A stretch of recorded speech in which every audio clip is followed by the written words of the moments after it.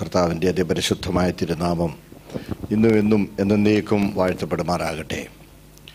മീറ്റിംഗിൽ അധ്യക്ഷനായിരിക്കുന്ന ഈ സഭയുടെ ശുശ്രൂഷനായ ബഹുമാന്യ കത്തദാസൻ പാസ്റ്റർ കെ പി സാം കടന്നു വന്നിരിക്കുന്ന മറ്റ് കത്ത് ശുശ്രൂഷകന്മാർ ദൈവമക്കൾ സഹോദരങ്ങൾ എല്ലാ പ്രിയമുള്ളവർക്കും യേശു ക്രിസ്തുവിന്റെ പരിശുദ്ധ നാമത്തിൽ ഹൃദയപൂർവമായ വന്ദനങ്ങൾ അറിയിക്കുന്നു. സ്തോത്രം.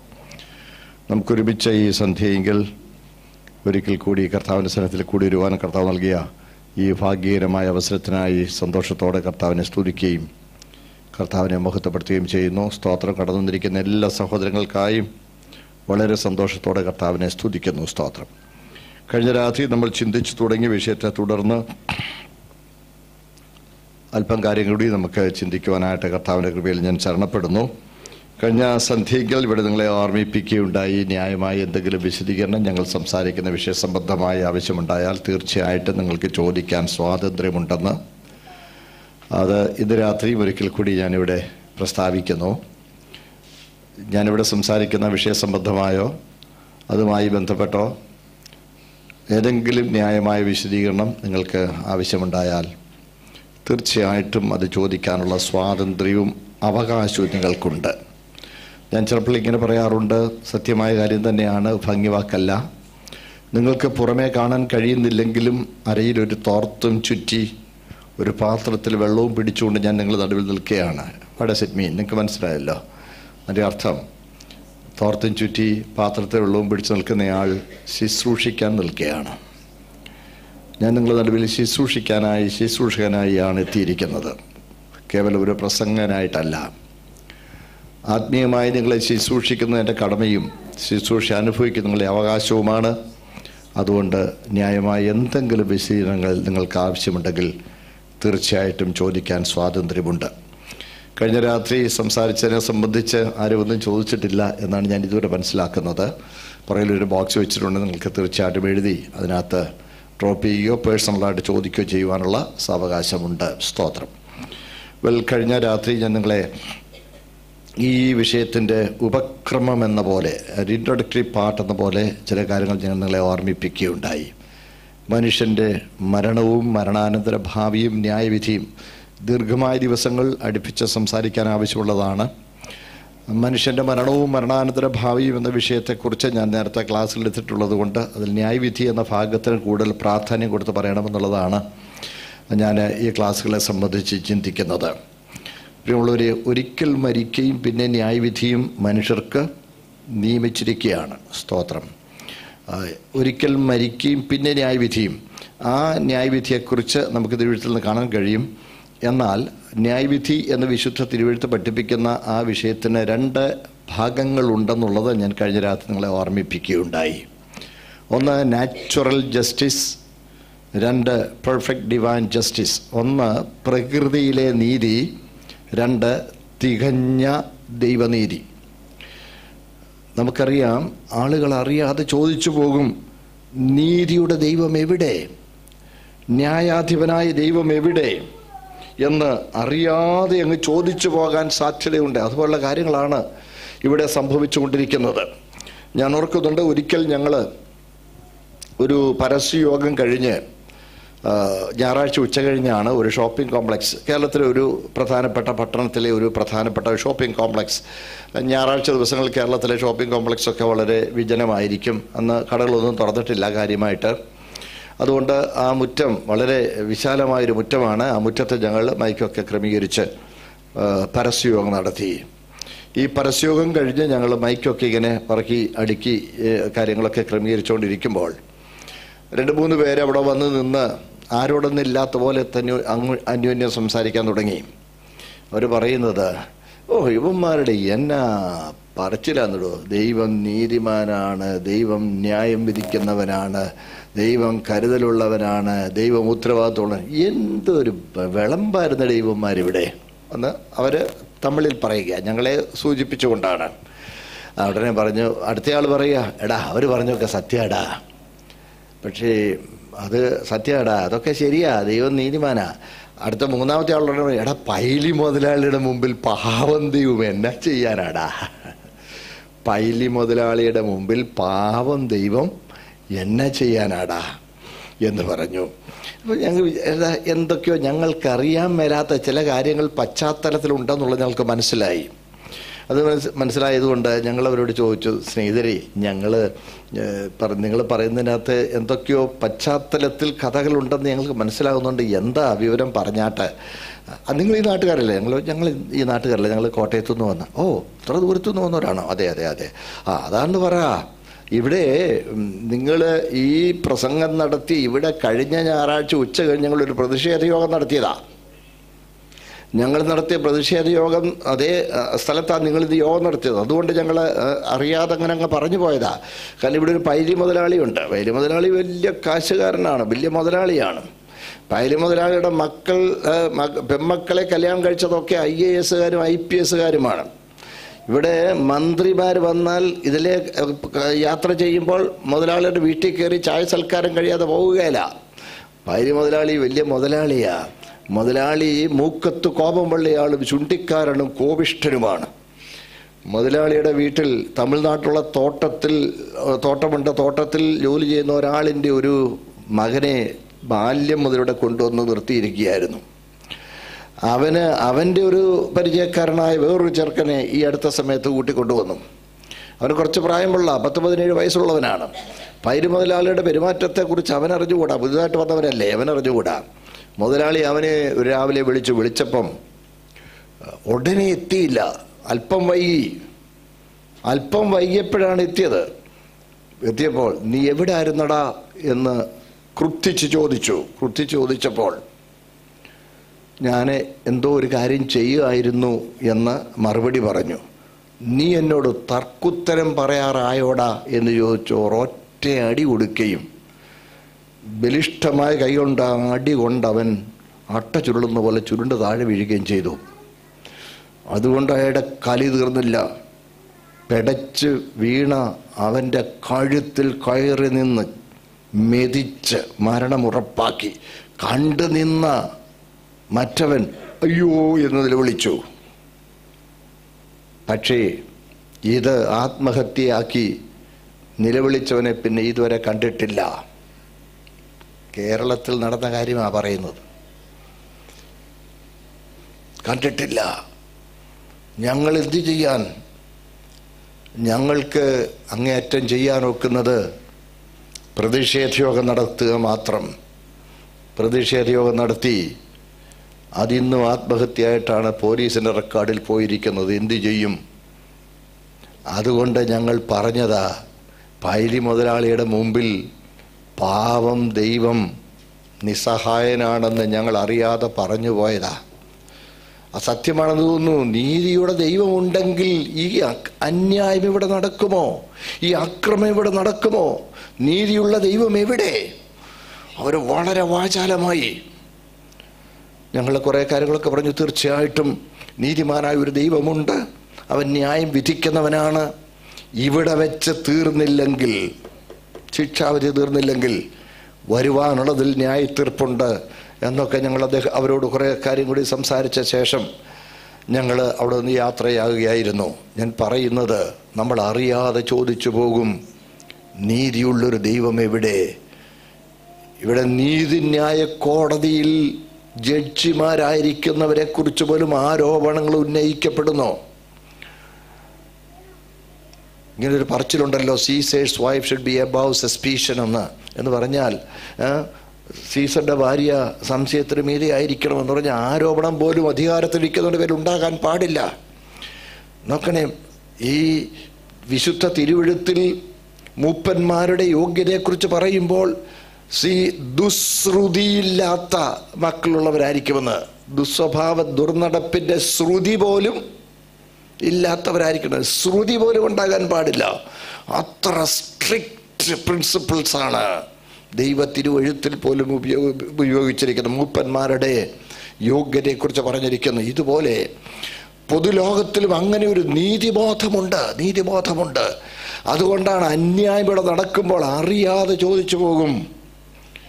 നീതിയുടെ ദൈവം എവിടെ എന്ന് അറിയാതെ ചോ മലാഖിയുടെ പ്രവചനം രണ്ടാമധ്യായം പതിനേഴാമത്തെ വാക്യം ഒന്ന് ചോ വായിച്ചേക്കാമോ? മലാഖിയുടെ പ്രവചനം രണ്ടാമധ്യായം അതിന്റെ പതിനേഴാമത്തെ വാക്യം. മലക്കായി ടു സെവന്റീൻ ഒന്ന് വായിച്ചേ. മലാക്കി രണ്ടിന്റെ പതിനേഴ്. നിങ്ങൾ നിങ്ങളുടെ വാക്കുകളാൽ യഹോവയെ മുഷിപ്പിക്കുന്നു. എന്നാൽ നിങ്ങൾ ഏതിനാൽ ഞങ്ങൾ അവനെ മുഷിപ്പിക്കുന്നു എന്ന് ചോദിക്കുന്നു? ദോഷം പ്രവർത്തിക്കുന്ന ഏവനും യഹോവയ്ക്ക് ഇഷ്ടമുള്ളവനാകുന്നു. അങ്ങനെയുള്ളവരിൽ അവൻ പ്രസാദിക്കുന്നു. അല്ലെങ്കിൽ ന്യായവിധിയുടെ ദൈവം എവിടെ? എന്നിങ്ങനെ നിങ്ങൾ പറയുന്നതിനാൽ തന്നെ. താങ്ക് യു ദോഷം പ്രവർത്തിക്കുന്നവനിൽ ദൈവം പ്രസാദിക്കുന്നു.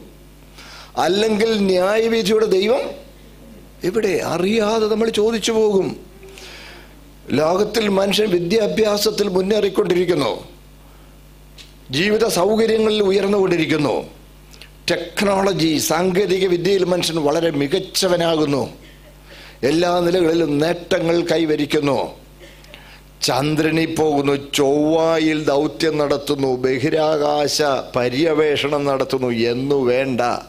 മനുഷ്യൻ അവന്റെ നേട്ടത്തിൽ ഊറ്റം കൊള്ളുന്നു. പക്ഷേ മനുഷ്യന്റെ അവസ്ഥയൊന്ന് ചിന്തിച്ചേ.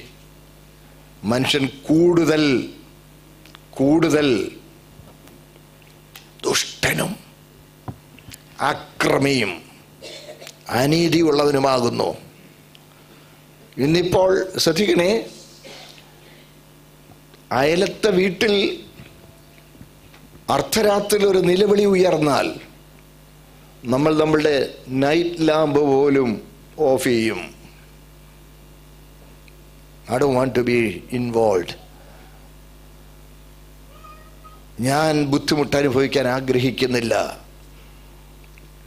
A principle of non involvement അതാണ് ഇന്ന് ലോകത്തിൽ അക്രമം അരങ്ങേറുന്നു അധികരിക്കുന്നു അനീതി അരങ്ങുവാഴുന്നു അതുകൊണ്ടാണ് അറിയാതെ അങ്ങ് ചോദിച്ചു പോകും നീതിമാനായ ദൈവം എവിടെ? ന്യായവിധിയുടെ ദൈവം എവിടെ? വായിച്ച ഭാഗത്തെ പ്രവാചകൻ പറഞ്ഞിരിക്കുന്നു നമ്മൾ അങ്ങനെ പറയുന്നതിനാൽ യഹോവയെ മുഷിപ്പിക്കുന്നു. സ്തോത്രം. നീതിമാനായൊരു ദൈവമുണ്ട്. അവൻ ന്യായം വിധിക്കും. സ്തോത്രം. ഇവിടെ പ്രകൃതിയിൽ തന്നെ ഒരു നീതി ന്യായവിധിയുടെ നീതി ദൈവം നിയമിച്ചിട്ടുണ്ട്. വരുവാനുള്ളതിൽ തീർച്ചയായും ദൈവം ന്യായവിധിക്കും. ഓർക്കുമ്പോഴും വായിക്കുമ്പോഴും ചിലപ്പോൾ ഭയം തോന്നുന്ന കാര്യങ്ങളാണ് തിരുവഴുത്തിൽ കാണുന്നത്. മത്തായുടെ സുവിശേഷം പന്ത്രണ്ടാം അധ്യായം മുപ്പത്തി ആറാമത്തെ വാക്യം ഒന്ന് വായിക്കാമോ? Matthew's gospel chapter twelve S thirty six. ഒന്ന് വായിച്ചേക്കാമോ? മത്തായി പന്ത്രണ്ടിന് മുപ്പത്തിയാറ്. മത്തായുടെ സുവിശേഷം പന്ത്രണ്ടാം അധ്യായം മുപ്പത്തി ആറാമത്തെ വാക്യം. എന്നാൽ മനുഷ്യൻ പറയുന്ന ഏതു നിസ്സാരവാക്കിനും ന്യായവിധി ദിവസത്തിൽ കണക്ക് ബോധിപ്പിക്കേണ്ടി വരുമെന്ന് ഞാൻ നിങ്ങളോട് പറയുന്നു. എന്റെ വാഴ്ത്തപ്പെട്ട കർത്താവ് പറഞ്ഞതാണ് എന്നാൽ മനുഷ്യൻ പറയുന്ന ഏത് നിസാരവാക്കിനും. പൊട്ടച്ചൊൽ കളിവാക്ക്. ചിലപ്പോഴൊക്കെ കൂട്ടുകാരൊക്കെ വർത്തമാനമൊക്കെ പറയുമ്പം നല്ല നർമ്മവും ചിലപ്പോഴതൊരു ഇച്ചിരി ഒരു അത്ര ആശാസ്യമല്ലാത്ത മേഖലയിലേക്ക് ഇച്ചിരി വളഞ്ഞു പോകുന്നവരൊക്കെ അങ്ങ് തോന്നുമ്പോൾ പെട്ടെന്ന് മനസ്സിൽ അറിയാതെ നല്ല മറുപടിയൊക്കെ അങ്ങ് വന്നു. സ്വയം നിയന്ത്രിക്കും.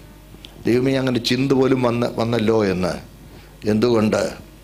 ദൈവം തന്ന ഈ ശരീരം ഉപയോഗിച്ച് ദൈവത്തിന് ഹിതകരമല്ലാത്ത ഒരു വാക്കെങ്കിലും പറഞ്ഞാൽ ഒരു നാൾ അതിന് കണക്ക് ബോധിപ്പിക്കേണ്ടതുണ്ട്.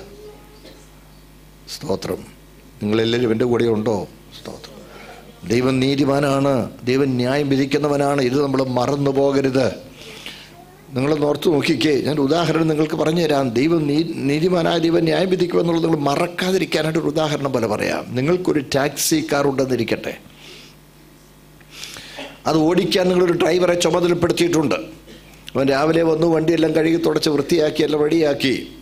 സാറേ ഞാൻ ഞാൻ പോകട്ടെ സ്റ്റാൻഡിലോട്ട് പോകട്ടെ എന്ന് ചോദിച്ചപ്പോൾ നിങ്ങൾ ലോഗ് ബുക്ക് എടുത്തുകൊണ്ട് വന്നു. ആ എടാ ഓഡോമീറ്ററിൽ എത്രയായി നോക്കെന്ന് പറഞ്ഞു.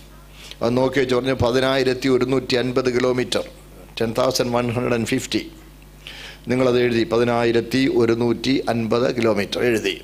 ഓടാൻ പോയി വൈകുന്നവരെ പാവം ഓടി. രാത്രി ഒരു പത്ത് മണി കഴിഞ്ഞപ്പോൾ പാവം തളർന്ന് പിടിച്ച് വണ്ടിയുമായിട്ട് കയറി വന്നു. കയറി വന്നപ്പോൾ വണ്ടി ഇട്ടിച്ച് പാവം നിറച്ച് വെച്ചു ആ എത്ര ആയടാ? നമ്മൾ ലോഗ് ബുക്ക് എടുത്തുകൊണ്ട് വന്നു. ഉടനെ അവൻ നോക്കി വെച്ച് പറഞ്ഞു പതിനായിരത്തി ഇരുന്നൂറ്റി അറുപത് ആ. അപ്പം നൂറ്റിപ്പത്ത് കിലോമീറ്റർ ഓടിയല്ലേ? അതെ അതെ അതെ. നൂറ്റി എവിടൊക്കെയായിരുന്നു ഇന്ന് പോയത്? കണക്ക് പറഞ്ഞു കണക്ക് പറഞ്ഞു പറഞ്ഞു പറഞ്ഞു വന്നപ്പം ഒരു എഴുപത് കിലോമീറ്റർ കണക്ക് ആദ്യം പിന്നെ ഒന്നുകൂടെ മനസ്സ് തല ചുറഞ്ഞ് ഓർത്തോർത്ത് എടുത്ത് പറഞ്ഞ് പറഞ്ഞ് പറഞ്ഞ് വന്നപ്പോൾ ഒരു തൊണ്ണൂറ് കിലോമീറ്റർ കണക്ക് പറഞ്ഞു. ബാക്കി ഇരുപത് കിലോമീറ്റർ?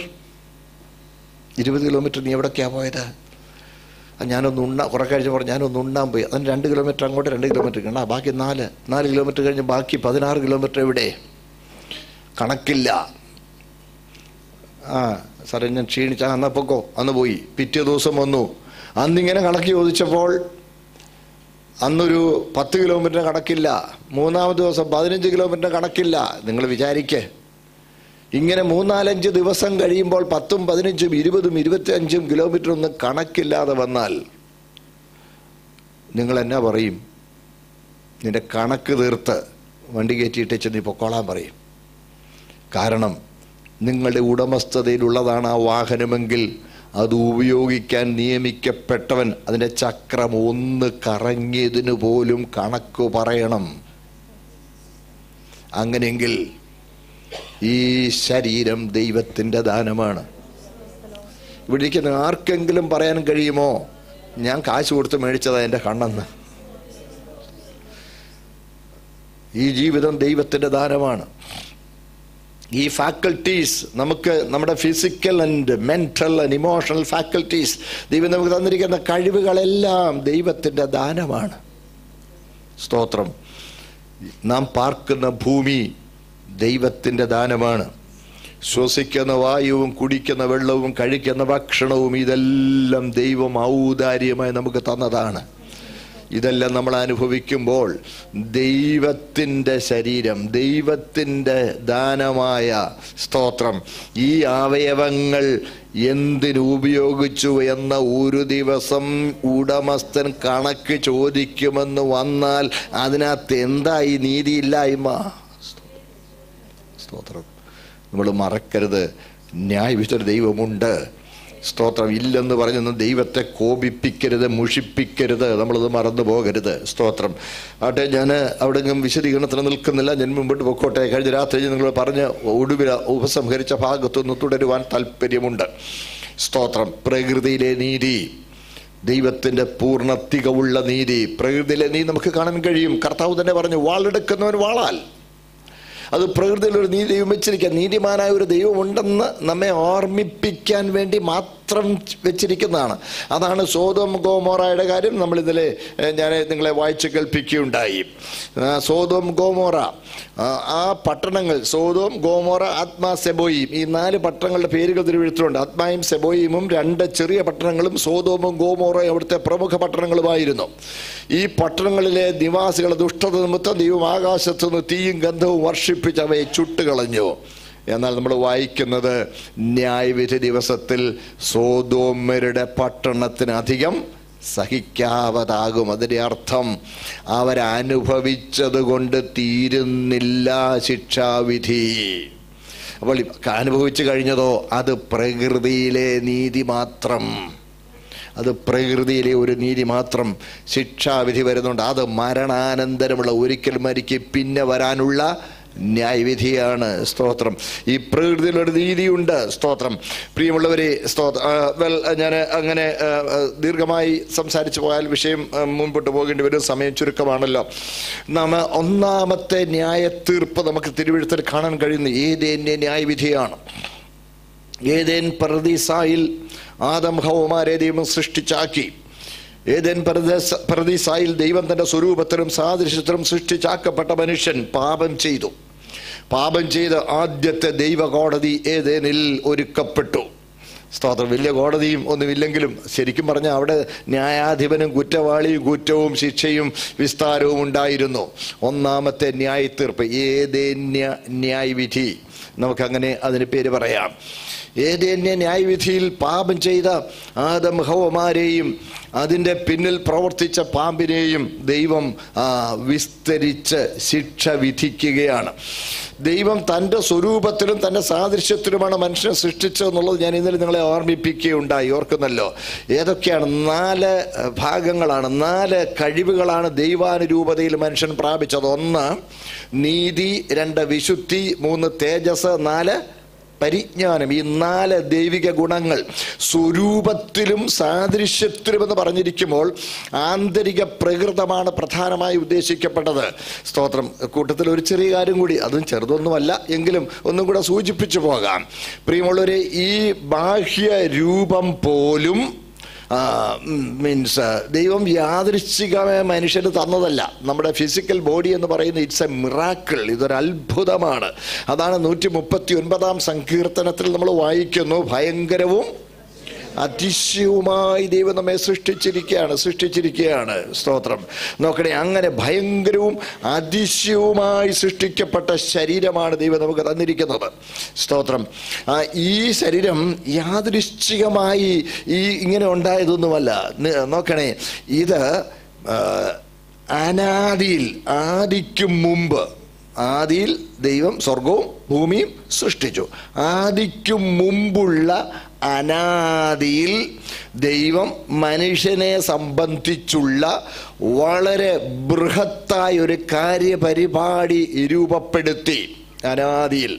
അന്ന് രൂപപ്പെടുത്തിയപ്പോൾ മനുഷ്യന്റെ പാപവും മനുഷ്യന്റെ വീഴ്ചയും ഇതെല്ലാം ദൈവം മുൻകണ്ടിരുന്നു അതിന്റെയൊക്കെ ഉദ്ദേശത്തെക്കുറിച്ച് നേരം കിട്ടുകയാണെങ്കിൽ ഞാൻ വിശദീകരിക്കാം. ശ്രദ്ധിക്കണേ. സ്തോത്രം. അങ്ങനെ ദൈവം ഇതെല്ലാം രൂപപ്പെടുത്തിയപ്പോൾ രക്ഷാമാർഗവും ദൈവം നേരത്തെ തന്നെ അനാദിയിൽ നിയമിച്ചു. രക്ഷാമാർഗം. രക്ഷാമാർഗം നിയമിച്ചപ്പോൾ രക്ഷകനായി യേശുക്രിസ്തു ലോകത്തിൽ വരുവാനുള്ള ശരീരത്തിന്റെ വിശദാംശങ്ങൾ മുൻ നിയമിക്കപ്പെട്ടു. ശ്രദ്ധിക്കണേ സ്തോത്രം. യേശുക്രിസ്തു രക്ഷകനായി ഭൂമിയിൽ വരുവാനുള്ള തിരുശരീരത്തിന്റെ സകല വിശദാംശങ്ങളും മുൻ നിയമിക്കപ്പെട്ടു. അതാണ് ഇതിലെടുത്ത് നമ്മൾ വായിക്കുന്നു. നീ എനിക്കായി ഒരു ശരീരം ഒരുക്കിയിരിക്കുന്നു. അങ്ങനെ യേശു ക്രിസ്തു രക്ഷകനായി ഇവിടെ വരുവാൻ മുൻ നിയമിക്കപ്പെട്ട ആ ശരീരത്തിന്റെ മാതൃകയിൽ ആദമിനെ സൃഷ്ടിക്കുകയായിരുന്നു. ഒറിജിനൽ യേശു ക്രിസ്തു രക്ഷകനായി ഇവിടെ വരുവാൻ മുൻ നിയമിക്കപ്പെട്ട ശരീരമാണ്. അതാണ് ഒറിജിനൽ അതാണ് നമ്മൾ വായിക്കുന്നു. റോമാലേഖനം അഞ്ചാമധ്യാപന പതിനാലാമത്തെ വാക്യത്തിൽ നമ്മൾ വായിക്കുന്നുണ്ട്. വരുവാനുള്ളവന്റെ പ്രതിരൂപമായ ആദം. എങ്കിലും വരുവാനുള്ളവന്റെ പ്രതിരൂപമായ ആദം. വരുവാനുള്ളവൻ അവനാണ് ഒറിജിനൽ ആദം ആരായിരുന്നു ഡ്യൂപ്ലിക്കേറ്റ് ആയിരുന്നു പ്രതിരൂപമായിരുന്നു.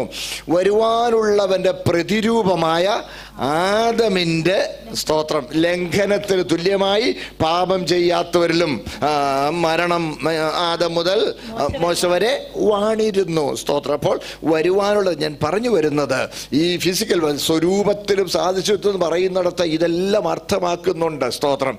പ്രിയപ്പെട്ട അതുകൊണ്ടാണ് കർത്താവ് ഇവിടെ രക്ഷകനായി വരുവാൻ മുൻ നിയമിക്കപ്പെട്ട ശരീരത്തിന്റെ മാതൃകയിലാണ് ദൈവം മനുഷ്യനെ സൃഷ്ടിച്ചത്. സ്തോത്രം. ക്രൂശീകരണത്തെ കുറിച്ചൊക്കെ നോക്കുമ്പോൾ കർത്താവ് ക്രൂശിക്കപ്പെട്ടത് ക്രൂശീകരണത്തിന് ഒത്തിരി വിശദമായ വിവരങ്ങൾ നമുക്ക് ചരിത്ര പുസ്തകങ്ങളൊക്കെ ധാരാളം വായിക്കാൻ കിട്ടുന്നുണ്ട്. അതിൽ ക്രൂശിക്കും ക്രൂശിച്ചപ്പോൾ ക്രൂശിക്കുമ്പോൾ ഇവിടെ അല്ല കൈവെള്ളയിലൊന്നുമല്ല ആണി അടിക്കുന്നത് ഇവിടെ അല്ല ആണി അടിക്കുന്നത്. ഇവിടെ കണങ്കയിലാണ് റിസ്റ്റ് ഭാഗത്താണ് ആണി അടിക്കുന്നത്. റേഡിയസ് എന്നും അൾന എന്നും ഫിസിയോളജി വിളിക്കുന്ന രണ്ട് അസ്ഥികൾ ചേർന്ന് ഇങ്ങനെ ഒന്നായി വളഞ്ഞിരിക്കുന്നതിന് നടുവിൽ ഒരു ദ്വാരമുണ്ട്. ആ ദ്വാരത്തിലേക്കാണ് ആണി അടിക്കുന്നത്. നോക്കണേ അതിനെക്കുറിച്ച് ഒരു തിയോളജിയൻ അതിനെക്കുറിച്ച് പറഞ്ഞു it's a miracle hole in the human physical body മനുഷ്യന്റെ ശരീരത്തിലെ ഒരു ഒരു മിറക്കിൾ ഹോൾ ദൈവം ഇത് ഈ ഹോളും കൂടെ മുൻ നിയമിച്ചാണ് മനുഷ്യന്റെ ശരീരം ഡിസൈൻ ചെയ്തതെന്ന് അദ്ദേഹം പറഞ്ഞത്. സ്തോത്രം. നോക്കണേ അങ്ങനെ അത്ര അത്രമാത്രം പ്രിസൈസ് പ്ലാനിങ് ആണ് ദൈവത്തിന്റെ കാര്യപരിപാടികളൊന്നും മറക്കരുത്. സൗകര്യങ്ങളിൽ നമുക്ക് ദൈവം തന്നിരിക്കുന്ന ഈ ശരീരം എന്ന് പറഞ്ഞാൽ എന്തോ ഒരു അത്ഭുതകരമായ ശരീരമാണെന്ന് അറിയാമോ? നിങ്ങൾ ഓർത്ത് നോക്കണം. മനുഷ്യന്റെ ബാലൻസ് എന്നൊക്കെ പറയുന്നത് എത്ര അത്ഭുതമാണ്. ലേബറിൻ താൻ എന്ന് പറഞ്ഞ രണ്ട് ചുരുളുകൾ ചെവിക്കകത്തുള്ളതിന്റെ ആ തൊഴുകുന്ന ഒരു ദ്രാവകത്തിന്റെ ബാലൻസിലാണ് മനുഷ്യൻ ബാലൻസിൽ ജീവിക്കുന്നത്. ചിമ്പൻസിയൊക്കെ ഉണ്ട്. മൂന്ന് നടന്നാലും രണ്ടോ മൂന്നോ ചവിട് വെച്ചിട്ട് പിന്നെ നാല് കാലം നടക്കും. എന്നാൽ എൺപത് കിലോ തൂക്കമുള്ള ഒരു മനുഷ്യൻ ഒരു അമ്പത് കിലോ തൂക്കമുള്ള ഒരു സിമെന്റിയാക്കും തലയിൽ വെച്ചുകൊണ്ട് വെറും ഇഞ്ചുകൾ മാത്രം തറയെ തൊട്ടുകൊണ്ട് ഒരു മലമ്പാതിലൂടെ കൈയും വീശി ഓടുന്നു എന്ന് ഓർത്ത് നോക്കിക്കേ. എന്നൊരു ബാലൻസാ. ചില പെമ്പിള്ളേർ ചില കുഞ്ഞുങ്ങളൊക്കെ അങ്ങോട്ട് ഡാൻസ് ചെയ്യുമ്പോഴത്തേ അങ്ങോട്ട് വട്ടം കറങ്ങുക. ആദ്യം ക്ലോക്ക് വൈസ് കറങ്ങും പിന്നെ ആന്റി ക്ലോക്ക് വൈസ് കറങ്ങും. എന്തോ ഒരു ബാലൻസാണ്. ഈ ബാലൻസ് ഇതൊക്കെ അത്ഭുതകരമായി ദൈവം സൃഷ്ടിച്ച ഈ ശരീരമാണ്. മറക്കരുത് സ്തോത്രം. ഈ ശരീരത്തെ ദുരുപയോഗിക്കുന്നത് കൊണ്ടാണ് കണക്ക് കൊടുക്കേണ്ടി വരുന്നത്. സ്തോത്രം മറന്നു പോകരുത്.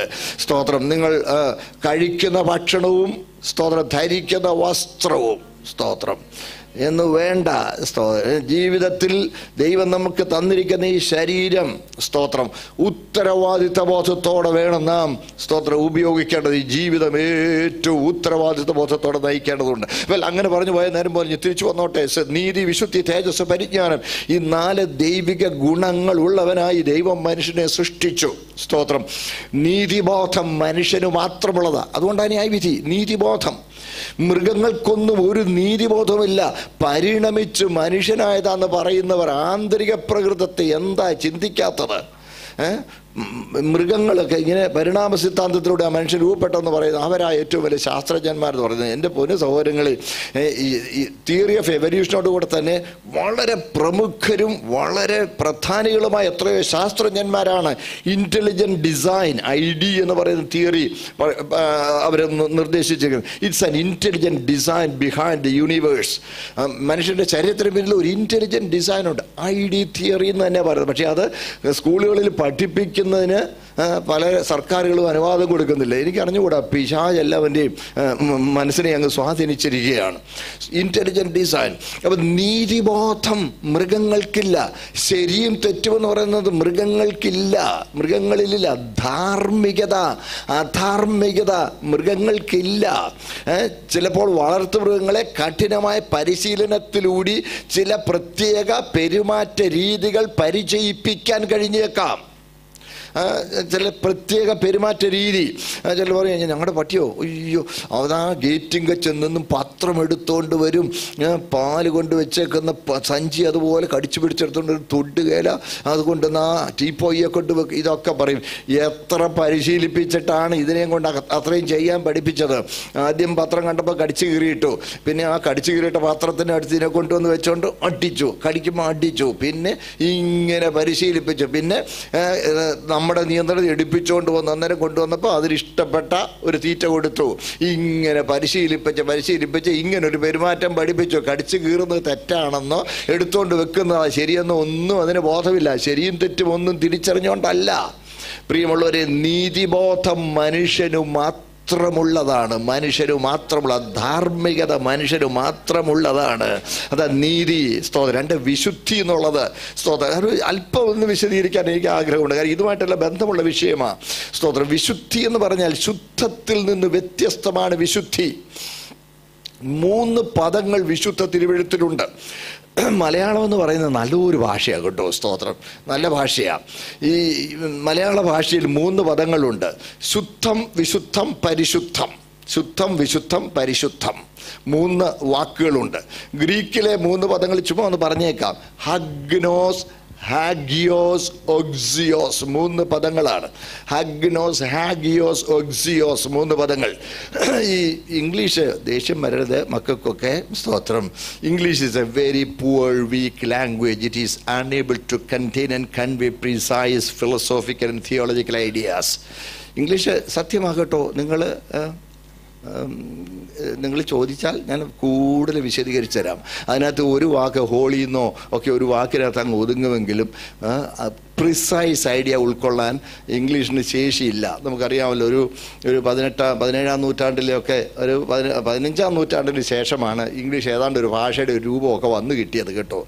അതിനു മുമ്പ് ഇതൊക്കെ ആകെ ഈ- ഇപ്പോഴും ആദ്യത്തെ കവി ചോസറിന്റെ മീൻസ് ജെഫ്രി ചോസർ എഴുതിയ കാന്റബറി ടീൽസൊക്കെ തർജമ ചെയ്തെങ്കിലേ ഇന്ന് മനസ്സിലാകുള്ളൂ അതുപോലുള്ള ക്രൂഡ് ഭാഷയായിരുന്നു. അല്ല അങ്ങോട്ട് പറഞ്ഞു പോയാൽ നേരെ പോകല്ലോ ഞാൻ പറഞ്ഞു വരുന്നത് ഈ ശുദ്ധം വിശുദ്ധം എന്നുള്ള ഒന്ന് ആശയം എന്നുള്ളത് ഇംഗ്ലീഷിൽ ഹോളി എന്നാണെന്നുള്ളത് കൊണ്ട് അത് ഒന്നേ ഉള്ളൂ എന്ന് നിങ്ങൾ ചിന്തിക്കരുത്. ഇംഗ്ലീഷ് അല്ല മീൻസ് ഗ്രീക്കാണ് ഒറിജിനൽ ഭാഷ. ഇംഗ്ലീഷ് ഗ്രീ ഗ്രീക്കിലെ എല്ലാ ആശയവും ഉൾക്കൊള്ളാൻ ഇംഗ്ലീഷിലെ വാക്കുകൾക്ക് കഴിയുകയില്ല. പക്ഷേ മലയാളത്തിന് ശേഷിയുള്ളതിൽ എനിക്ക് അഭിമാനമുണ്ട്. ശ്രദ്ധിക്കണേ സ്തോത്രം. ഞാൻ ചുമ്മാ ബ്ലഫ് പറയുന്നൊന്നുമല്ല. ഐ ക്യാൻ പ്രൂവ് ഇറ്റ് അതുകൊണ്ട് മാത്രം പറഞ്ഞാൽ നിങ്ങൾ അതുകൊണ്ട് തെറ്റിദ്ധരിക്കരുത്. സ്തോത്രം. അതുകൊണ്ട് ഈ നിങ്ങൾ ഇംഗ്ലീഷിൽ അങ്ങനെയാണെന്ന് പറഞ്ഞിട്ട് നിങ്ങൾ ഇതിനെ വിശീർണം ചോദിച്ചാൽ ഞാൻ കൂടുതൽ പറഞ്ഞു. നേരെ അങ്ങോട്ട് നേരെ പോകുന്നോണ്ട് അങ്ങോട്ട് പോകണില്ല ശ്രദ്ധിച്ചേ. സ്തോത്രം. ശുദ്ധമെന്ന് പറഞ്ഞാൽ ക്ലീൻ എന്നേ അതിനർത്ഥമുള്ളൂ. ദൈവം നമ്മളെ ക്ലീൻ ആക്കി സൃഷ്ടിച്ചു എന്ന് മാത്രമല്ല അതിന്റെ അർത്ഥം. വിശുദ്ധനായി സൃഷ്ടിച്ചു വിശുദ്ധി എന്ന് പറഞ്ഞാൽ ഒരു കാര്യത്തിനായി മാത്രം മാറ്റിവെച്ചെന്ന് എന്റെ അർത്ഥം. Exclusively set apart for a single cause ഒരു കാര്യത്തിന് വേണ്ടി മാത്രം മാറ്റിവെക്കപ്പെട്ടത് എന്ന് പറഞ്ഞാൽ വിശുദ്ധിയോടുകൂടെ നമ്മളെ സൃഷ്ടിച്ചെന്ന് പറഞ്ഞാൽ നമ്മൾ ഓരോരുത്തർക്കും മനുഷ്യന്റെ ഉള്ളിൽ ദൈവം മനുഷ്യനെ ആദമനെ ഹൗവയും സൃഷ്ടിച്ചപ്പോൾ അവന്റെ ഉള്ളിൽ കൊടുത്തിരുന്ന ഒരു തിരിച്ചറിവായിരുന്നു. God has created me for him ദൈവം എന്നെ അവിടുത്തേക്കായി സൃഷ്ടിച്ചതാണെന്നുള്ള ഒരു തിരിച്ചറിവോടുകൂടെ ആ മനുഷ്യനെ ദൈവം സൃഷ്ടിച്ചത്. സ്തോത്രം. അതാണ് ഏഷ്യാവിന്റെ പ്രവചനം നാൽപ്പത്തി മൂന്നാം അധ്യായം എന്റെ ഇരുപത്തി ഒന്നാമത്തെ വാക്യം വായിക്കുമ്പോൾ Isaiah forty three verse twenty one അവിടെ നമ്മളിങ്ങനെ വായിക്കുന്നു. ഞാൻ എടുത്തെങ്കിലും വായിച്ചു ഞാൻ എനിക്ക് വേണ്ടി നിർമ്മിച്ചിരിക്കുന്ന ജനം നിന്റെ എന്റെ സ്തുതിയെ വിവരിക്കും. താങ്ക് യു നോക്കാം ഞാൻ എനിക്ക് വേണ്ടി നിർമ്മിച്ചിരിക്കുന്ന എന്റെ ജനം അതാണ് ദൈവം നമ്മെ അവിടുത്തേക്കായി സൃഷ്ടിച്ചതാണ്. ഞാൻ എനിക്ക് വേണ്ടി സൃഷ്ടിച്ചിരിക്കുന്ന എന്റെ ജനം അതാണ് വിശുദ്ധി എന്നുള്ള ബോധ്യം. ഐ ബിലോങ് ടു ഗാഡ് എന്നുള്ള ആ തിരിച്ചറിവ്. ആദമനെ ആ തിരിച്ചറിവ് കൊടുത്താ ദൈവം സൃഷ്ടിച്ചത്. ആ തിരിച്ചറിവ് കൊടുത്ത് എന്നാൽ ഇന്ന് വന്ന് നോക്കണേ വന്നിട്ട് ഇന്നലെ നിങ്ങളോട് പറഞ്ഞ കാര്യമൊന്നും മറക്കല്ലേ സ്തോത്രം. നമുക്കറിയാമല്ലേ യഹോവയായ ദൈവം അവർ നന്മതിന്മകളെ അറിയുന്നവരായി നമ്മിൽ ഒരുവനെ പോലെ ആയി തീർന്നിരിക്കുന്നു നന്മതിന്മകളെ അറിയുന്നവരായി നമ്മൾ ഒരുവനെ പോലെ ആയിത്തീർന്നിരിക്കുന്നു. പറഞ്ഞാൽ ദൈവത്തിന്റെ നീതിബോധത്തെ അതിന് സമാന്തരമായ മറ്റൊരു മണ്ഡലം മറ്റൊരു നീതിബോധത്തിന്റെ മണ്ഡലം മനുഷ്യനുണ്ടാക്കി. സ്തോത്രം. നോക്കണേ മനുഷ്യൻ മനുഷ്യൻ ദൈവത്തിനായി സൃഷ്ടിക്കപ്പെട്ടവനാണെന്നുള്ള തിരിച്ചറിവ് അവന് നഷ്ടപ്പെടുത്തി. അവൻ കളഞ്ഞു കുളിച്ചു. ഞാൻ ദൈവത്തിനായി സൃഷ്ടിക്കപ്പെടുന്നുള്ള തിരിച്ചറിവ് കളഞ്ഞു കുളിച്ചു. നമ്മുടെ തന്നെ കാര്യം എടുത്തോ നമ്മൾ ഇപ്പോഴും പറയുന്നത് എന്താ? എനിക്ക് വേണ്ടി ദൈവം എന്നല്ലേ പറയുന്നത്? എനിക്ക് വേണ്ടി ദൈവം. എനിക്ക് വേണ്ടി ദൈവം എന്ന് പറയുമ്പോൾ വലുതാരാ? ഞാനാണോ ദൈവമാണോ എനിക്ക് വേണ്ടി ദൈവം. Who is more important I am more important am I not സ്തോത്രം. എല്ലാവരും എന്റെ കൂടെ ഉണ്ടോ? ചൂടാകരുത് സത്യം എനിക്ക് വേണ്ടി ദൈവം നമ്മൾ പറഞ്ഞു നടക്കുന്നത്? തിരിച്ചിടണം. ദൈവത്തിന് വേണ്ടി അടിയാൻ. സ്തോത്രം. ദൈവത്തിന് വേണ്ടി അടിയാൻ. ശ്രദ്ധിക്കണേ നമ്മളെപ്പോഴും എനിക്ക് വേണ്ടി ദൈവം എനിക്ക് വേണ്ടി ദൈവം എനിക്ക് വേണ്ടി ദൈവം എന്നാ പറയണം. നേരെ തിരിച്ചു പറയണം. ഐ ബിലോങ് ടു ഗോഡ് അതുകൊണ്ടാണ് ഈ രക്ഷിക്കപ്പെടുമ്പോൾ മാനസാന്തരം എന്നൊക്കെ പറയുന്നത് എന്താ? ചിന്താഗതിയിൽ അടിസ്ഥാനപരമായ മാറ്റമുണ്ടാകണം. സ്തോത്രം. രക്ഷിക്കപ്പെടുമ്പോൾ ശ്രദ്ധിക്കണേ കർത്താവിനെ ഇങ്ങോട്ട് എടുക്കുക എന്നത് നിർത്തരുത്. ഞാൻ എന്നെ കർത്താവിന് കൊടുക്കുന്നു എന്ന സമർപ്പണത്തിലാണ് വരേണ്ടത് സ്തോത്രം സ്തോത്രം. എല്ലാവരും കൂടെ ഉണ്ടേ സ്തോത്രം. നമ്മളെപ്പോഴും പറഞ്ഞു ഞാൻ എന്റെ യേശുവിനെ രക്ഷകനും കർത്താവുമായി രക്ഷകനും കർത്താവുമായി സ്വീകരിച്ചെന്ന് പറയുന്നത് രക്ഷകനായി സ്വീകരിച്ചെന്നവൽ രക്ഷകനും കർത്താവുമായി സ്വീകരിക്കുമ്പോൾ കർത്തൃത്വത്തിന് സമർപ്പിക്കുക. സ്തോത്രം. ഹലരൂയ എത്ര പേര് അങ്ങനെ സമർപ്പിച്ചവരുണ്ട്? എനിക്കറിഞ്ഞുകൂടാ സ്തോത്രം. അതാണ് വിശുദ്ധം നീതിയും വിശുദ്ധി. ഐ ബിലോങ് ടു ഗോഡ് എന്നുള്ള തിരിച്ചറിവ്. ആദമിന് കൊടുത്ത ദൈവം ആദമിനെ സൃഷ്ടിച്ചത്. സ്തോത്രം. അടുത്ത തേജസ് ഇന്നലെ വിശദീകരിച്ച് അവിടെ നിൽക്കുന്നില്ല. പരിജ്ഞാനം പരിജ്ഞാനം. സ്തോത്രം. ശരിയും തെറ്റും തിരഞ്ഞെടുക്കാനുള്ള കഴിവ്. Adam was not an adult child അതിനുള്ള കഴിവ് ദൈവം കൊടുത്തിരുന്നു. സ്തോത്രം. പക്ഷേ ദൈവം കൊടുത്ത പരിജ്ഞാനം ദൈവ പരിജ്ഞാനം അത് മാറ്റി അവന്റെ വേറൊരു സ്റ്റാൻഡേർഡ് അവനുണ്ടാക്കി സ്തോത്രം. അവന്റെ വേറൊരു സ്റ്റാൻഡേർഡ് ഉണ്ടാക്കി. അതുകൊണ്ടാണ് ന്യായവിധി തീരുമാനമെടുക്കുവാൻ ശേഷിയുണ്ട്. അതുകൊണ്ടാണ് തെറ്റ് കുറ്റമാകുന്നത്. ഹലേലൂയ പ്രിയമുള്ളവരെ തെറ്റ് കുറ്റമാകുന്നതുകൊണ്ട് നമുക്ക് ഉത്തരവാദിത്വ ബോധമുണ്ട് നമുക്ക് ഉത്തരവാദിത്വ ബോധമുള്ളത് കൊണ്ടാണ് ന്യായവിധി ഉള്ളത്. സ്തോത്രം. അതുകൊണ്ട് ഏതിനിൽ ന്യായവിധി നടത്തി? സ്തോത്രം. അവൻ അറിവില്ലാത്തവനായിരുന്നില്ല. സ്തോത്രം. ദൈവത്തെ തള്ളി തന്റെ ഒരു ലോകം സൃഷ്ടിക്കാൻ ശ്രമിച്ചു. ദൈവത്തെ പോലെയാകാൻ ശ്രമിച്ചു. സ്തോത്രം. അതാണ്. നോക്കണേ നമ്മിൽ ഒരുവനെ പോലെ ആയിരിക്കുന്നു. നന്മ നന്മതിന്മകളെ അറിയുന്നവനായി. അറിയാം പക്ഷേ ചെയ്യാൻ മേല. സ്തോത്രം. നോക്കണേ അവന്റെതായ ഒരു മേഖല. മനുഷ്യന്റെ ഒരു ഒരു ഒരു എത്തിക്കൽ കോഡ് അവനുണ്ടാക്കി. സ്തോത്രം. അവന് ശരിയും തെറ്റുമെന്നൊരു കോഡ് അവനുണ്ടാക്കി. ദൈവത്തിന് ശരിയും തെറ്റുമെന്നുള്ളതിൽ നിന്ന് അവൻ മാറി. എന്റെ പൊന്നു സഹോദരങ്ങളെ സ്തോത്രം. നമ്മുടെ പ്രമാണം നമ്മുടെ ശരിയും തെറ്റുമെന്ന് പറയുന്നത് ദൈവഹിതമായിരിക്കണം. സ്തോത്രം. ദൈവത്തിന് ശരിയായത് നമുക്കും ശരി. ദൈവത്തിന് തെറ്റായത് നമുക്കും തെറ്റ്. ഹല്ലേലൂയ. അതുകൊണ്ടാണ് കൊലോസ് ലേഖനം നാലാം അധ്യായത്തിൽ നമ്മൾ വായിക്കുന്നു. പന്ത്രണ്ടാം വാക്യത്തിൽ നമ്മൾ ഇങ്ങനെ വായിക്കുന്നു. കൊലോഷ്യൻസ് ഫോർ ട്വൽവിൽ ഇങ്ങനെ വായിക്കുന്നു. സ്തോത്രം. ദൈവഹിതം സംബന്ധിച്ചൊക്കെയും പൂർണ നിശ്ചയമുള്ളവരാകണം. സ്തോത്രം. ദൈവഹിതം സംബന്ധിച്ചുള്ള പൂർണ നിശ്ചയം നമ്മൾ പ്രാപിക്കണം. സ്തോത്രം. അതായിരിക്കണം ഒരു ദൈവവചനന്റെ പരിജ്ഞാനം എന്ന് പറയുന്നത് സ്തോത്രം. അവൻ അത് കളഞ്ഞു കുളിച്ചു. സ്തോത്രം. അതുകൊണ്ട് അവൻ വെച്ച ഒരു സ്റ്റാൻഡേർഡ്. അതുകൊണ്ട് അവനെ ന്യായം വിധിച്ചു. എന്നിട്ട് ഏതൊരു ന്യായം വിധിക്കുമ്പോൾ സ്തോത്രം വിസ്തരിക്കുമ്പോൾ കുറ്റപത്രം കൊണ്ട് കൊടുക്കുക. സ്തോത്രം. യഹോവയായ ദൈവം ഏതേനിൽ എഴുന്നള്ളിയപ്പോൾ വേലിയാറിയപ്പോൾ ഏതിന് എഴുന്നള്ളിയപ്പോൾ ആദമും ഹൗവയും ഓടി ഒളിച്ചു. ഓടി ഒളിച്ചപ്പോൾ ദൈവം അവനെ തള്ളിയില്ല. എവിടെ? ചോദിച്ചു. മനുഷ്യനെ വിളിച്ചു. ഇവിടെ ഉണ്ട് എന്ത് പറ്റി? എവിടാ? മരത്തിന് പിന്നെ മറിഞ്ഞിരിക്കുന്നു. എന്ത് പറ്റി? നഗ്നനാ. നഗ്നനാ നിന്നോട് ആര് പറഞ്ഞു? മറുപടിയില്ല അടുത്ത കുറ്റപത്രം കൊടുക്കുക. തിന്നരുതെന്ന് പറഞ്ഞു നീ തിന്നോ? കുറ്റപത്രം അംഗീകരിച്ചു. തിന്നു. പക്ഷെ കുറ്റപത്രം അംഗീകരിക്കുമ്പോഴും അവനത് ഹൃദയപൂർവം അല്ല അംഗീകരിക്കാൻ. നീ എന്നോടുകൂടി ഇരിക്കാൻ തന്ന ഈ സ്ത്രീ തന്നു ഞാൻ തിന്നു. നോക്കണേ. അതാണ് ആദം. തെറ്റ് ഹൃദയപൂർവം അംഗീകരിച്ചില്ല. ലംഘനം മാർവിടത്ത് മറച്ചു വെച്ചു എന്നാണ് നാം തിരുവഴുത്തിൽ വായിക്കുന്നത്.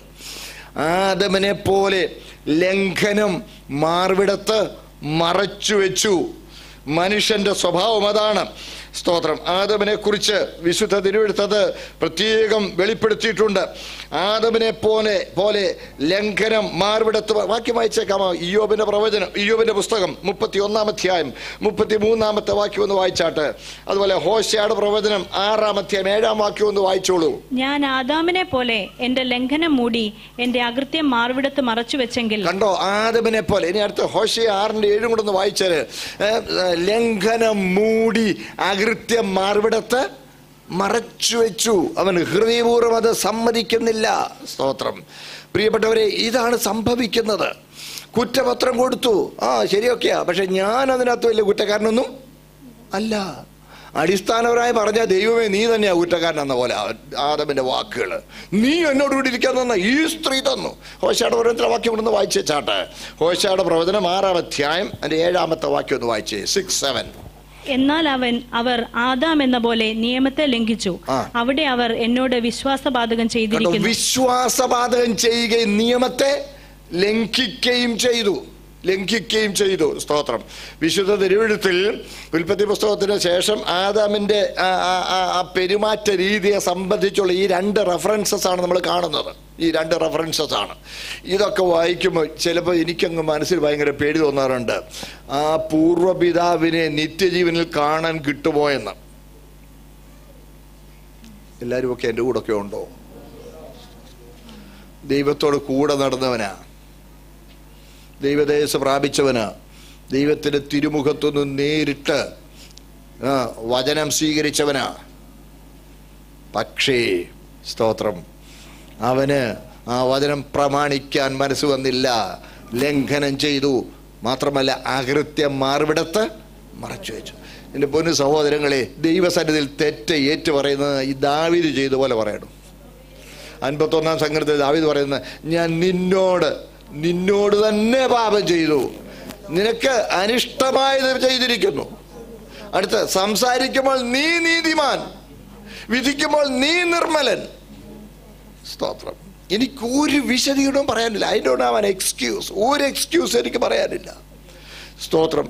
അതാണ് ഹൃദയപൂർവമുള്ള ഏറ്റുപറച്ചിൽ എന്ന് പറയുന്നത്. അങ്ങനെ ഹൃദയപൂർവം ദൈവസനിൽ നമ്മുടെ കുറ്റങ്ങൾ ഏറ്റുപറഞ്ഞ് ദൈവസനിൽ ക്രമീകരണം പ്രാപിച്ച് മുൻപോട്ട് പോകാനാണ് ദൈവം നമ്മെക്കുറിച്ച് ആട്ടെ. സ്തോത്രം. ഏതന്യ ന്യായവിധിയിൽ? സ്തോത്രം.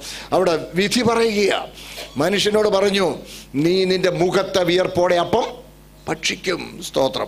നോക്കണേ അതുവരെ എന്നിട്ട് അടുത്ത പറഞ്ഞു നിന്റെ നിമിത്തം ഭൂമി ശപിക്കപ്പെട്ടിരിക്കുന്നു. സ്തോത്രം. ദൈവം ആരെയും ശപിക്കുകയില്ല ശപിക്കുന്നുമില്ല. എല്ലാവരും എന്റെ കൂടെ ഉണ്ടോ? ദൈവം വെളിച്ചങ്ങളുടെ പിതാവാണ്. ദൈവത്തിൽ നിന്ന് നന്മയല്ലാതെ ഒന്നും വരികയില്ല. ദൈവം ആരെയും ശപിക്കുന്നില്ല. മനുഷ്യൻ തന്റെ ദൈവം വെച്ചിരിക്കുന്ന നിയമങ്ങൾ ലംഘിച്ച് ശാപഗ്രസ്തരാവുകയാണ്. സ്തോത്രം. ഇത് പ്രയോജനമുള്ളത് മറിച്ചു വെക്കരുതല്ലോ. പ്രബോധനമായി ചില കാര്യങ്ങളോട് പറഞ്ഞു വെക്കോട്ടെ.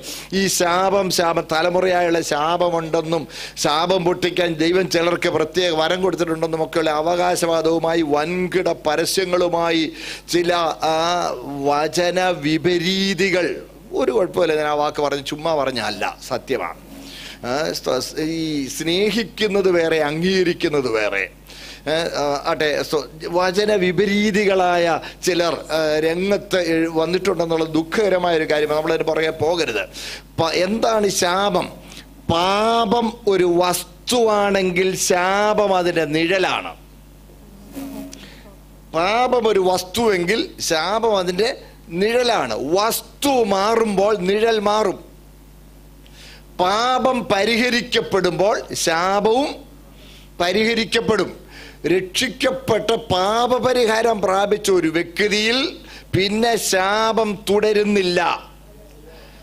പിന്നെ ശാപം തുടരുന്നുണ്ടെന്ന് നിങ്ങൾക്ക് തോന്നിയാൽ നിങ്ങൾക്ക് തോന്നിയാൽ നിങ്ങൾ പാപപരിഹാരം പ്രാപിച്ചിട്ടില്ലെന്നാണ് അതിന്റെ അർത്ഥം. മാത്രമല്ല സൗകര്യങ്ങളെ നിങ്ങൾ ഓർത്ത് നോക്കണം. രക്ഷിക്കപ്പെട്ടതുകൊണ്ടൊന്നും പാ- ശാപമൊന്നും മാറില്ല. പാവം പരിഹരിച്ച് രക്ഷിക്കപ്പെട്ടതുകൊണ്ടൊന്നും ശാപം മാറിയില്ല. അത് അത് അത് ബ്രേക്ക് ചെയ്യാൻ ദൈവം ഞങ്ങളെ പ്രത്യേക അഭിഷേകം ചെയ്തിട്ടുണ്ട്. ഞാൻ പ്രാർത്ഥിച്ച് മാറ്റാമെന്നൊക്കെ പറയുന്നവർ. അതിന്റെ അർത്ഥം യേശു ക്രിസ്തുവിന്റെ പ്രായച്ചിത്ത ബലി മരണത്താൽ പരിഹരിക്കപ്പെടാത്തത് അവർ പ്രാർത്ഥിച്ചു പരിഹരിക്കാമെന്ന് പറയുന്നത് ഓ ഗുരുതരമായ വേദവിപരീതമാണ്. യേശുക്രിസ്തുവിന്റെ പ്രായച്ചിത്ത പരിശുദ്ധ രക്തത്തെക്കാൾ മൂല്യമുള്ളതായി അവരുടെ പ്രാർത്ഥനയെ പരിഗണിക്കുന്നെങ്കിൽ അതിൽ പരം ദൈവദൂഷണമില്ല. നിങ്ങളതിന് പുറകെ പോകരുത് പോകരുത്. അങ്ങനെയുള്ളവര് വേദവിപരീതികളാണ്. അതിന് പോയി ക്യൂ നിൽക്കരുത്. സ്തോത്രം. എന്നിട്ട് മനുഷ്യന് മനുഷ്യന് മനുഷ്യനോട് പറയുകയാണ് മനുഷ്യനെ ദൈവം ശപിച്ചില്ല. നിന്റെ നിമിത്തം ഭൂമി അതുകൊണ്ട് എന്ത് പറ്റുന്നു? മുള്ളും പാറക്കാരയും നിനക്ക് മുളയ്ക്കും ഭൂമി അതിന്റെ പുഷ്ടി നിനക്ക് തരികയില്ല തരികയില്ല. ഭൂമി അതിന്റെ പുഷ്ടി നിനക്ക് തരികയില്ല. ഒന്ന് ഓർത്ത് നോക്കിയേ ഇപ്പോഴൊക്കെ എത്ര കഷ്ടപ്പെട്ട് അധ്വാനിച്ചാലാണ് ഇത്തിരി വിളവൊക്കെ കിട്ടുന്നത്. എന്നാൽ പണ്ട് അങ്ങനെ ആയിരുന്നില്ല. ഭൂമി നല്ല പുഷ്ടിയുള്ളതായിരുന്നു. ഇഷ്ടം പോലെ വിളവ് കൊടുത്തുകൊണ്ടിരുന്നു. അധികം അധ്വാനിക്കാതെ തന്നെ ആവശ്യത്തിലുള്ള ഭക്ഷണം ലഭിക്കുമായിരുന്നു. മാത്രമല്ല മനുഷ്യൻ ആദ്യം ഭക്ഷിക്കാൻ ദൈവം കൊടുത്തത് ഫ്രൂട്ട്സും നട്ട്സുമാണ് ഇലയെല്ലാം മൃഗങ്ങൾക്ക് കൊടുത്തു ഫ്രൂട്ട്സും നട്ട്സും. എന്നിട്ട് പാപം ചെയ്തു കഴിഞ്ഞപ്പോഴാണ് നോക്കണേ ആ ശിക്ഷാവിധിയിലാണ് ഇലയും കൂടെ തിന്നോളാൻ പറഞ്ഞത്. പച്ചക്കറിയും പച്ചക്കറി തിന്നോളാൻ പറഞ്ഞു. ഒറിജിനൽ ആദ്യം ഫ്രൂട്ട്സും നട്ട്സുമാണ് കൊടുത്തത്. പിന്നെ പാപം ചെയ്ത് കഴിഞ്ഞാൽ ഭൂമി എന്റെ പുഷ്ടി തരികയല്ല. അതുകൊണ്ട് ആവശ്യത്തിന് തികയത്തില്ല. അതുകൊണ്ട് ഒരു കാര്യം ചെയ്തു. നിങ്ങൾ ഇലച്ചിൽ ആദ്യം കൊടുത്തത് മൃഗങ്ങൾക്കാണ് ഇലച്ചിലെല്ലാം കൊടുത്തത്. പച്ച സസ്യം മൃഗങ്ങൾക്ക് ആഹാരമായി കൊടുത്തു. മനുഷ്യൻ എന്ത് ചെയ്തു? അവന് ഫ്രൂട്ട്സും നട്ട്സും തികയാതെ വരുന്നപ്പം അവൻ ചെന്ന് മൃഗങ്ങളുടെ കൂടെ അത് കൈയിട്ട് വരാൻ തുടങ്ങി. അവിടെ വൈരം തുടങ്ങി. എന്നിട്ട് പറഞ്ഞപ്പോൾ അതിന്റെ ബാക്കിയൂടെ പറഞ്ഞു പോകാം. നോഹയുടെ പ്രളയത്തിന് ശേഷമാണ് മാംസം തിന്നാൻ അനുവാദം കൊടുത്തു ആദ്യം മൃഗങ്ങളുടേത് ചെന്ന് കൈയിട്ട് വരാതെ കൊടുക്കുക അതിനെ പിടിച്ച് തിന്നാനും തുടങ്ങി സ്തോത്രം. ഇതാണ് അത്തപ്പ നോക്കണേ ഈ ഏത് ഏതെന്യ ന്യായവിധിയിൽ പെട്ടതാണിത്? ഏതെന്യ ന്യായവിധിയിൽ? ഭൂമിയുടെ അത്തപ്പതനം ഭൂമി അത്തപ്പതിച്ചു അടുത്ത ഒന്ന് അവിടെ പറയുന്നു സ്ത്രീയോട് പറയുമ്പോൾ പറയുന്നു സ്തോത്രം ആ കഷ്ടവും ഗർഭധാരണവും ഏറ്റവും വർദ്ധിപ്പിക്കും. നിവേദനയോടെ മക്കളെ പ്രസവിക്കും. നിന്റെ ആഗ്രഹം നിന്റെ ഭർത്താവിനോടാകും. അവൻ നിന്നെ ഭരിക്കും. സ്തോത്രം. ഇഷ്ടപ്പെടാത്തൊരു കാര്യമായി ഇപ്പം. ഇപ്പം ഈ മോഡേൺ വെൽ പക്ഷെ ബൈബിൾ പറയുന്നത് അങ്ങനെ ഈ ഭാര്യ എന്ന വാക്കിന്റെ തന്നെ അർത്ഥം ഭരിക്കപ്പെടുന്നവളെന്നാ. ഭരിക്കപ്പെടുന്നവൾ എന്നാണ് ഭാര്യ എന്ന വാക്കിന്റെ തന്നെ അർത്ഥം. സ്തോത്രം. വെൽ അങ്ങോട്ടേക്ക് ഞാൻ പോകണില്ല. സ്തോത്രം. ഞാൻ ഇവിടെ നോട്ടെ. കഷ്ടവും ഗർഭധാരണവും ഏറ്റവും വർദ്ധിപ്പിക്കും വേദനയോടെ മക്കളെ പ്രസവിക്കും. അപ്പോൾ രക്ഷിക്കപ്പെട്ടവർക്ക് പിന്നെ ശാപമില്ലെന്ന് പറയുമ്പോൾ ചിലർ വിമർശനമായി ചോദിക്കുന്ന ഒരു ചോദ്യം അങ്ങനെയാണെങ്കിൽ ശാപമായിട്ട് വന്നതല്ലേ? പിന്നെ ഈറ്റുനോവ. പ്രസവ വേദന ലേബർ പെയിൻ. രക്ഷിക്കപ്പെട്ടവർക്ക് അപ്പോൾ ഇനി ലേബർ പെയിൻ വരാൻ പാടില്ലല്ലോ എന്ന് പറയുന്ന ആളുകളുണ്ട്. എന്റെ സഹോദരങ്ങളെ ശ്രദ്ധിച്ച് വേദപുസ്തകം സൂക്ഷിച്ച് വായിക്കണം. ഇത് ദൈവത്തിന്റെ പുസ്തകമാണ് ഇത് ഇവ ഓടിച്ചു വിടാനുള്ളതല്ല. ഇത് ശ്രദ്ധിച്ച് പഠിക്കാനുള്ളതാണ് കേട്ടോ സ്തോത്രം. ഇവിടെ അവിടെ നമ്മൾ കഷ്ടവും ഗർഭധാരണവും ഏറ്റവും വർദ്ധിപ്പിക്കായിരുന്നു. എന്ന് പറഞ്ഞാൽ ശ്രദ്ധിക്കണേ അവിടെ മൂലകൃതിയിൽ ഉപയോഗിച്ചിരിക്കുന്ന പദങ്ങളെല്ലാം വളരെ വിശദമായി വ്യക്തമാക്കുന്ന ആശയം പറയാം. ശ്രദ്ധിച്ചേ എന്ന് പറഞ്ഞാൽ the frequency of possible pregnancies was increased എന്ന ആശയം. സി ദ ഗർഭധാരണത്തിന്റെ മീൻസ് ഫ്രീക്വൻസി വർദ്ധിപ്പിച്ചു. ഗർഭധാരണത്തിന്റെ ഫ്രീക്വൻസി ഗർഭധാരണം വർദ്ധിപ്പിച്ചു. അതുകൊണ്ട് എന്തോ കൂടെ വർദ്ധിച്ചു? കഷ്ടം കൂടെ വർദ്ധിച്ചു. വർദ്ധിച്ചു. ഞാൻ ഞാൻ പറയുന്ന ആശയങ്ങൾ കിട്ടുന്നുണ്ടല്ലോ. ഇന്ന് ഒരു സ്ത്രീയുടെ ആരോഗ്യമുള്ള ഒരു സ്ത്രീയുടെ ശരീരം ഗർഭധാരണത്തിന് വേണ്ടി ഒരു മാസത്തിൽ ഒരു പ്രാവശ്യം ഒരുങ്ങുമെങ്കിൽ ഒറിജിനൽ സംവിധാനത്തിന് ചിലപ്പോൾ അഞ്ച് വർഷത്തിൽ ഒരിക്കൽ ആയിരുന്നിരിക്കാം. ഞാൻ പറയുന്നത് സ്തോത്രം. ആയിരുന്നിരിക്കാം. സ്തോത്രം. അപ്പോൾ എന്ത് ചെയ്തു? The frequency of possible pregnancies was increased എന്നാണ്. അത് വർദ്ധിപ്പിച്ചു. അതുകൊണ്ട് കഷ്ടവും വർദ്ധിച്ചു. വേദനയും വർദ്ധിച്ചു. ഈ വേദന എന്ന് പറയുന്നത് പെയിൻ ഈസ് എ ബ്ലെസ്സിങ് നിങ്ങൾ ഓർത്തു വയ്ക്കുക പൂർണ ഗർഭാവസ്ഥയിലുള്ള ഒരു സഹോദരി ഉറക്കത്തിൽ വേദനയില്ലാതെ പ്രസവിച്ചാൽ അമ്മയ്ക്കും കുഞ്ഞിനും അപകടമാണ്. അപ്പോൾ വേദന എന്ന് പറയുന്നത് ദൈവം വെച്ചിരിക്കുന്ന ഒരു അനുഗ്രഹമാണ്. ഒരനുഗ്രഹമാണ്. ഈ കുഷ്ഠരോഗികൾക്ക് മീൻസ് പ്രധാനമായിട്ട് പ്രശ്നം പറ്റുന്നതെന്ന് പറയാം അവിടെ സെൻസിറ്റിവിറ്റി അങ്ങ് പോകും. ഈ സെൻസിറ്റിവിറ്റി അങ്ങ് പോകുന്നതുകൊണ്ട് ചൂടുള്ള പാത്രത്തിൽ കയറി അങ്ങ് പിടിച്ച് പൊള്ളുന്നൊന്നും അറിയത്തില്ല. അതുകൊണ്ട് ഇതങ്ങ് പോകും. അങ്ങനെ. അതാണ് ഏറ്റവും വലിയ പെയിൻ ഈസ് എ ബ്ലെസ്സിങ് വേദന എന്ന് പറയുന്ന ഒരു ഒരു ബ്ലെസ്സിങ്ങാ ഡയബറ്റീസ് അങ്ങ് കൂടി. കാൽ മരം പോലെ ഇരിക്കുന്നത് തട്ടിയിട്ട് അറിഞ്ഞില്ലെന്ന്. സി വേദന വേദന എടുക്കുന്ന ഒരു സ്ഥിതിയിലേക്ക് നീ വന്നാൽ അത് ബ്ലെസ്സിങ് ആണ്. പെയിൻ ഈസ് എ ബ്ലെസ്സിങ് സ്തോത്രം. ശ്രദ്ധിക്കണേ. അതുകൊണ്ട് വേദനയില്ലാതെ പ്രസവിക്കും ഞങ്ങൾ പ്രാർത്ഥിച്ചാലെന്ന് പറഞ്ഞ് പറയുന്ന ആളുകൾ അവരെ നിങ്ങൾ ഏഴ് അയലത്തോട്ട് അടുപ്പിച്ചേക്കരുത്. അവരുടെ അടുത്തുനിന്ന് വളരെ ദൂരെ മാറി നിന്നോണം കേട്ടോ. സ്തോത്രം. ദൂരെ. ഏതെന്നെ ന്യായവിധി ഏതെന്നെ ന്യായവിധി? സ്തോത്രം. പ്രിയപ്പെട്ടവരെ സ്തോ ഞാൻ പറഞ്ഞു വരുന്നത് അന്ന് അവിടെ വെച്ച് നിയമിച്ചതാണിത്. സ്തോത്രം. സി ആയുസ് അങ്ങ് ഷണ്ട് ചെയ്തു? ആയിരം വർഷവും തൊള്ളായിരം വർഷവും തൊള്ളായിരത്തി മുപ്പത് വർഷവും ഒക്കെ ജീവിച്ചിരിക്കുന്ന ആളുകൾ ഇപ്പം എല്ലാം കൂടെ വന്ന് തൊണ്ണൂറും എഴുപതും ഒക്കെ അത് ആ ആ അത്രയും കാലം നടക്കേണ്ടത് അങ്ങ് ഷണ്ട് ചെയ്തു അങ്ങ് ചെറുതാക്കി അങ്ങ് ചെറുതാക്കി. നോക്കണേ സ്തോത്രം. അങ്ങ് കംപ്രസ് ചെയ്തു പോയി. അതാണ് അതുകൊണ്ട് പ്രിയപ്പെട്ടവരെ സ്തോത്രം.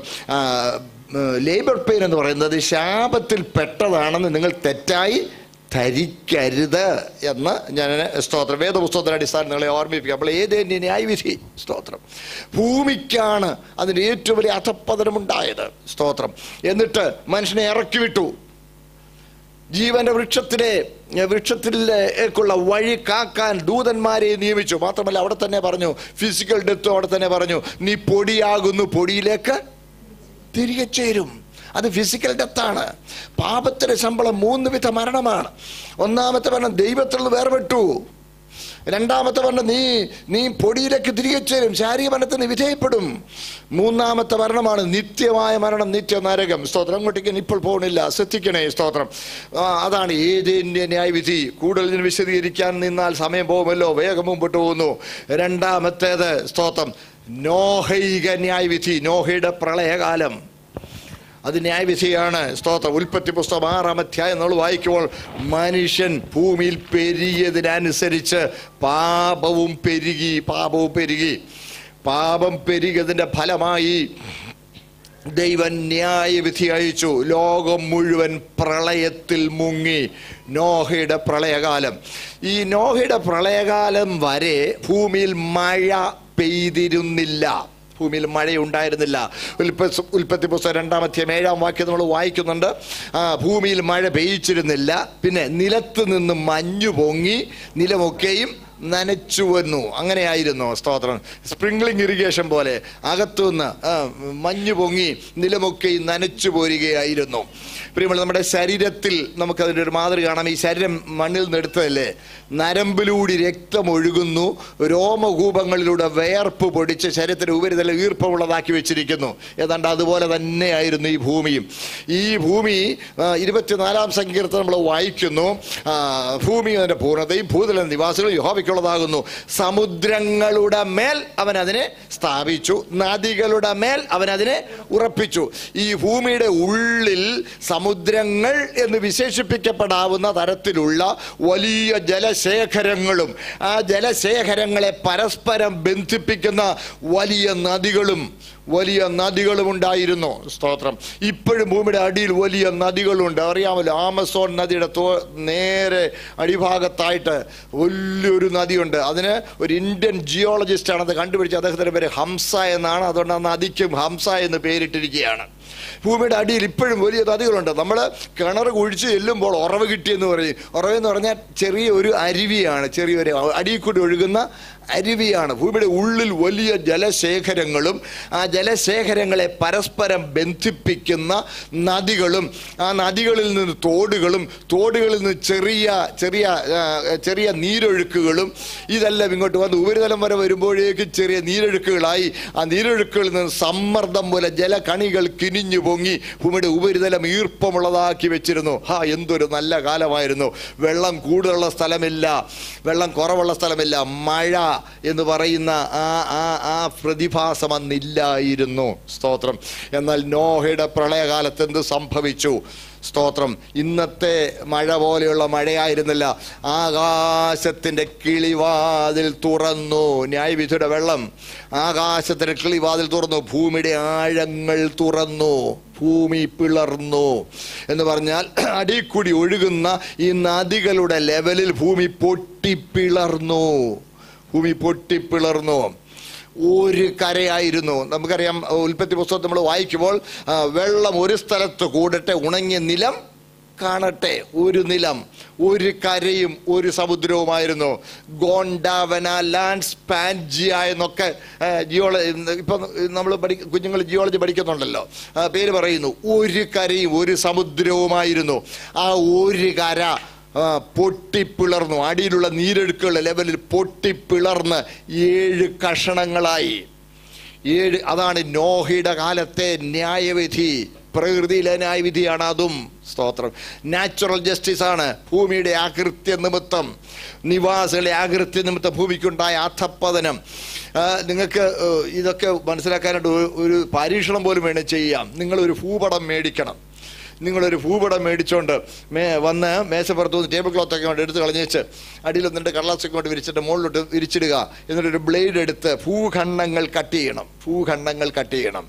ഭൂഖണ്ഡങ്ങൾ മാത്രം കട്ട് ചെയ്തിട്ട് എന്നിട്ട് ഈ സമുദ്രമുള്ള ഭാഗമുണ്ടല്ലോ ആ ഭാഗം എടുത്തങ്ങ് മാറ്റണം. എടുത്തങ്ങ് മാറ്റുമ്പം ഭൂഖണ്ഡങ്ങൾ നമ്മുടെ മേശപ്പുറത്ത് അവിടെ ഇവിടെ ഇരിക്കും. ഈ ഇരിക്കുന്ന ഭൂഖണ്ഡങ്ങൾ അടുത്തടുത്ത ഭൂഖണ്ഡങ്ങൾ ഒന്ന് ചേർക്കണം. ഒന്ന് ചേർത്ത് ആഫ്രിക്ക ആഫ്രിക്ക ഭൂഖണ്ഡം അല്പം വടക്ക് കിഴക്കോട്ട് ഇങ്ങനെ തെള്ളിക്കൊണ്ട് വന്നാൽ നമുക്കറിയാമല്ലോ നമ്മുടെ ഇന്ത്യയുടെ ആ ഭാഗത്ത് ആ ഗോവയുടെയൊക്കെ ആ ഭാഗത്ത് ആ ബോംബെയുടെയൊക്കെ ആ ഭാഗത്തോട്ട് വന്ന് ഇങ്ങനെ വെട്ടും വെട്ടും കൊണ്ട് ചേരുന്നവരങ്ങ് ചേരും വടക്കേ അമേരിക്കയും തെക്കേ അമേരിക്കയും കൂടി കിഴക്കോട്ട് കൊണ്ടുവന്നാൽ അതിന്റെ ആ ഇടയ്ക്കുള്ള ഭാഗത്തേക്ക് ഈ മൊറോക്കോ ആഫ്രിക്കയുടെ മൊറോക്കോയുടെ ഭാഗം വന്ന് ഇങ്ങനെ അങ്ങോട്ടൊക്കെ ചേരും. ചേരും. ഓസ്ട്രേലിയ മുകളിലോട്ട് തള്ളിക്കൊണ്ട് ചെന്നാൽ ന്യൂസിലൻഡ് എല്ലാം കൂടെ ചേർത്ത് അവിടെ മലേഷ്യയുടെ ഭാഗത്ത് വന്ന് ഇങ്ങനെ അങ്ങ് ചേരും. ഏഴ് കഷ്ണം മുകളിലുള്ള ആർട്ടിക് ഭൂഖണ്ഡം താഴോട്ട് കൊണ്ടുവന്നാൽ ഒരു ആപ്പ് വന്ന് മുറുകുന്ന പോലെ ഇങ്ങനെ വന്ന് മുറുകും. സി ജിയോഗ്രഫി പുസ്തകങ്ങളിലൊക്കെ ജിയോളജി പുസ്തകങ്ങളിലൊക്കെ ഓരോ ആയിരം വർഷവും ഭൂഖണ്ഡങ്ങളുടെ സ്ഥാനം എന്തായിരുന്നു എന്നുള്ളത് അവർ മീൻസ് അതിനുള്ള മാപ്പുകൾ ഉണ്ടാക്കിയിട്ടുണ്ട്. ഇന്ന് നമ്മൾ പുസ്തകങ്ങൾ വായിക്കാൻ കിട്ടും നമുക്ക്. ശ്രദ്ധിക്കണേ. ബൈബിൾ പറയുന്നു ഒരു കരയായിരുന്നു അത് പൊട്ടിപ്പിളർന്ന് ഏഴ് കഷണമായതാ അത് നോഹയുടെ പ്രളയകാലത്താണ് സംഭവിച്ചത്. നോഹയുടെ പ്രളയകാലത്ത് ഇത് പൊട്ടിപ്പിളർന്ന് അടിയിന്ന് വെള്ളം ഗുമുഗുമാ എന്ന് പുറപ്പെട്ടു. മോളിൽ നിന്ന് ഒഴുക്കി വിട്ടു. അങ്ങനെയാണ് നാൽപ്പത് രാവും നാൽപ്പത് പകലും കൊണ്ട് ഭൂമി മുഴുവൻ മുങ്ങിപ്പോയി. വെള്ളത്തിനടിയിലായി. വെള്ളത്തിനടിയിലായി. നോഹൈക ന്യായവിധി. മാത്രമല്ല വെള്ളം ഇറങ്ങിക്കഴിഞ്ഞും ഭൂഖണ്ഡങ്ങൾ ചലിച്ചകന്നുകൊണ്ടിരുന്നു. ഭൂഖണ്ഡ ചലന theory of the drifting continents ഇന്നുമുണ്ട്. ഇന്ന് നമുക്ക് പഠിക്കാനൊക്കുന്നുണ്ട്. അതുകൊണ്ടാണ് നമ്മൾ തിരുവഴുത്ത് വായിക്കുമ്പോൾ സ്തോത്രം ഉൽപ്പത്തി പുസ്തകം പത്താമത്തെ അധ്യായം പത്താമത്തെ അധ്യായത്തിന്റെ ഇരുപത്തി അഞ്ചാമത്തെ വാക്യം ഒന്ന് വായിച്ചാട്ടെ. പത്ത പത്തിന്റെ ഇരുപത്തിയഞ്ച് വായിച്ചാൽ വായിച്ചോളൂ പത്തിന്റെ ഇരുപത്തിയഞ്ച് പേലക്ക് ഉം. ഒരുത്തന് പേലഗ് എന്നു പേർ. ആ. വായിച്ചോ? കറക്റ്റാ വായിച്ചോ? പത്തിന്റെ പേർ അവന്റെ കാലത്തായിരുന്നു ഭൂവാസികൾ പിരിഞ്ഞുപോയത് കേട്ടോ അവന്റെ കാലത്തായിരുന്നു ഭൂവാസികൾ പിരിഞ്ഞുപോയത് ഭൂവാസികൾ പിരിഞ്ഞു പോയെന്നുള്ളതിന് മൂലഭാഷയിൽ ഭൂമി പിളർന്നു പോയതെന്ന് തന്നെയാ. പേലക് എന്ന വാക്കിന്റെ അർത്ഥം തന്നെ പിളർന്നു പോകുക എന്നാ. പേലക് എന്ന വാക്കിന്റെ അർത്ഥം പിളർന്നു പോകൽ പിരിഞ്ഞു പോകൽ എന്നാ. നോക്കണേ ഈ പൊട്ടിപ്പിളർന്ന ഭൂഖണ്ഡങ്ങൾ ഇടയിലേക്ക് വെള്ളം ശക്തിയായി എരച്ച് ഒഴുകി കയറി തെള്ളി തെള്ളി അകന്നകന്നു പോയി അങ്ങനെ ഭൂഖണ്ഡങ്ങൾ അകന്നുപോയി. ചിലർ ചോദിക്കാറുണ്ട് കൊളംബസ് ആദ്യം അമേരിക്കയുടെ ഭാഗത്ത് ചെന്നു. അത് കഴിഞ്ഞ് അമേരിക്ക വെസ്പുക്യസ് എന്ന ആ ഭൂഖണ്ഡത്തിൽ കടന്നപ്പോൾ അവിടെയും മനുഷ്യരുണ്ടായിരുന്നപ്പോൾ. നോക്കണേ എത്ര എന്തെന്ത് ദൂരം? ഇന്നിപ്പോൾ ജെറ്റ് വിമാനത്തെ പോയാൽ പോലും പതിനെട്ട് മണിക്കൂർ ഫ്ലൈ ചെയ്തെങ്കിലേ അങ്ങ് ചെല്ലാനൊക്കെ അപ്പോൾ ഒരു കോണിൽ നിന്ന് മറ്റേ കോണി ചെല്ലണോ? എന്തോ ഒരു ദൂരം പോകണം ഈ അറ്റ്ലാന്റിക് സമുദ്രമൊക്കെ താണ്ടി മനുഷ്യൻ എങ്ങനെ അവിടെ ചെന്നു എന്ന് ചോദിക്കാറുണ്ട് ആളുകൾ.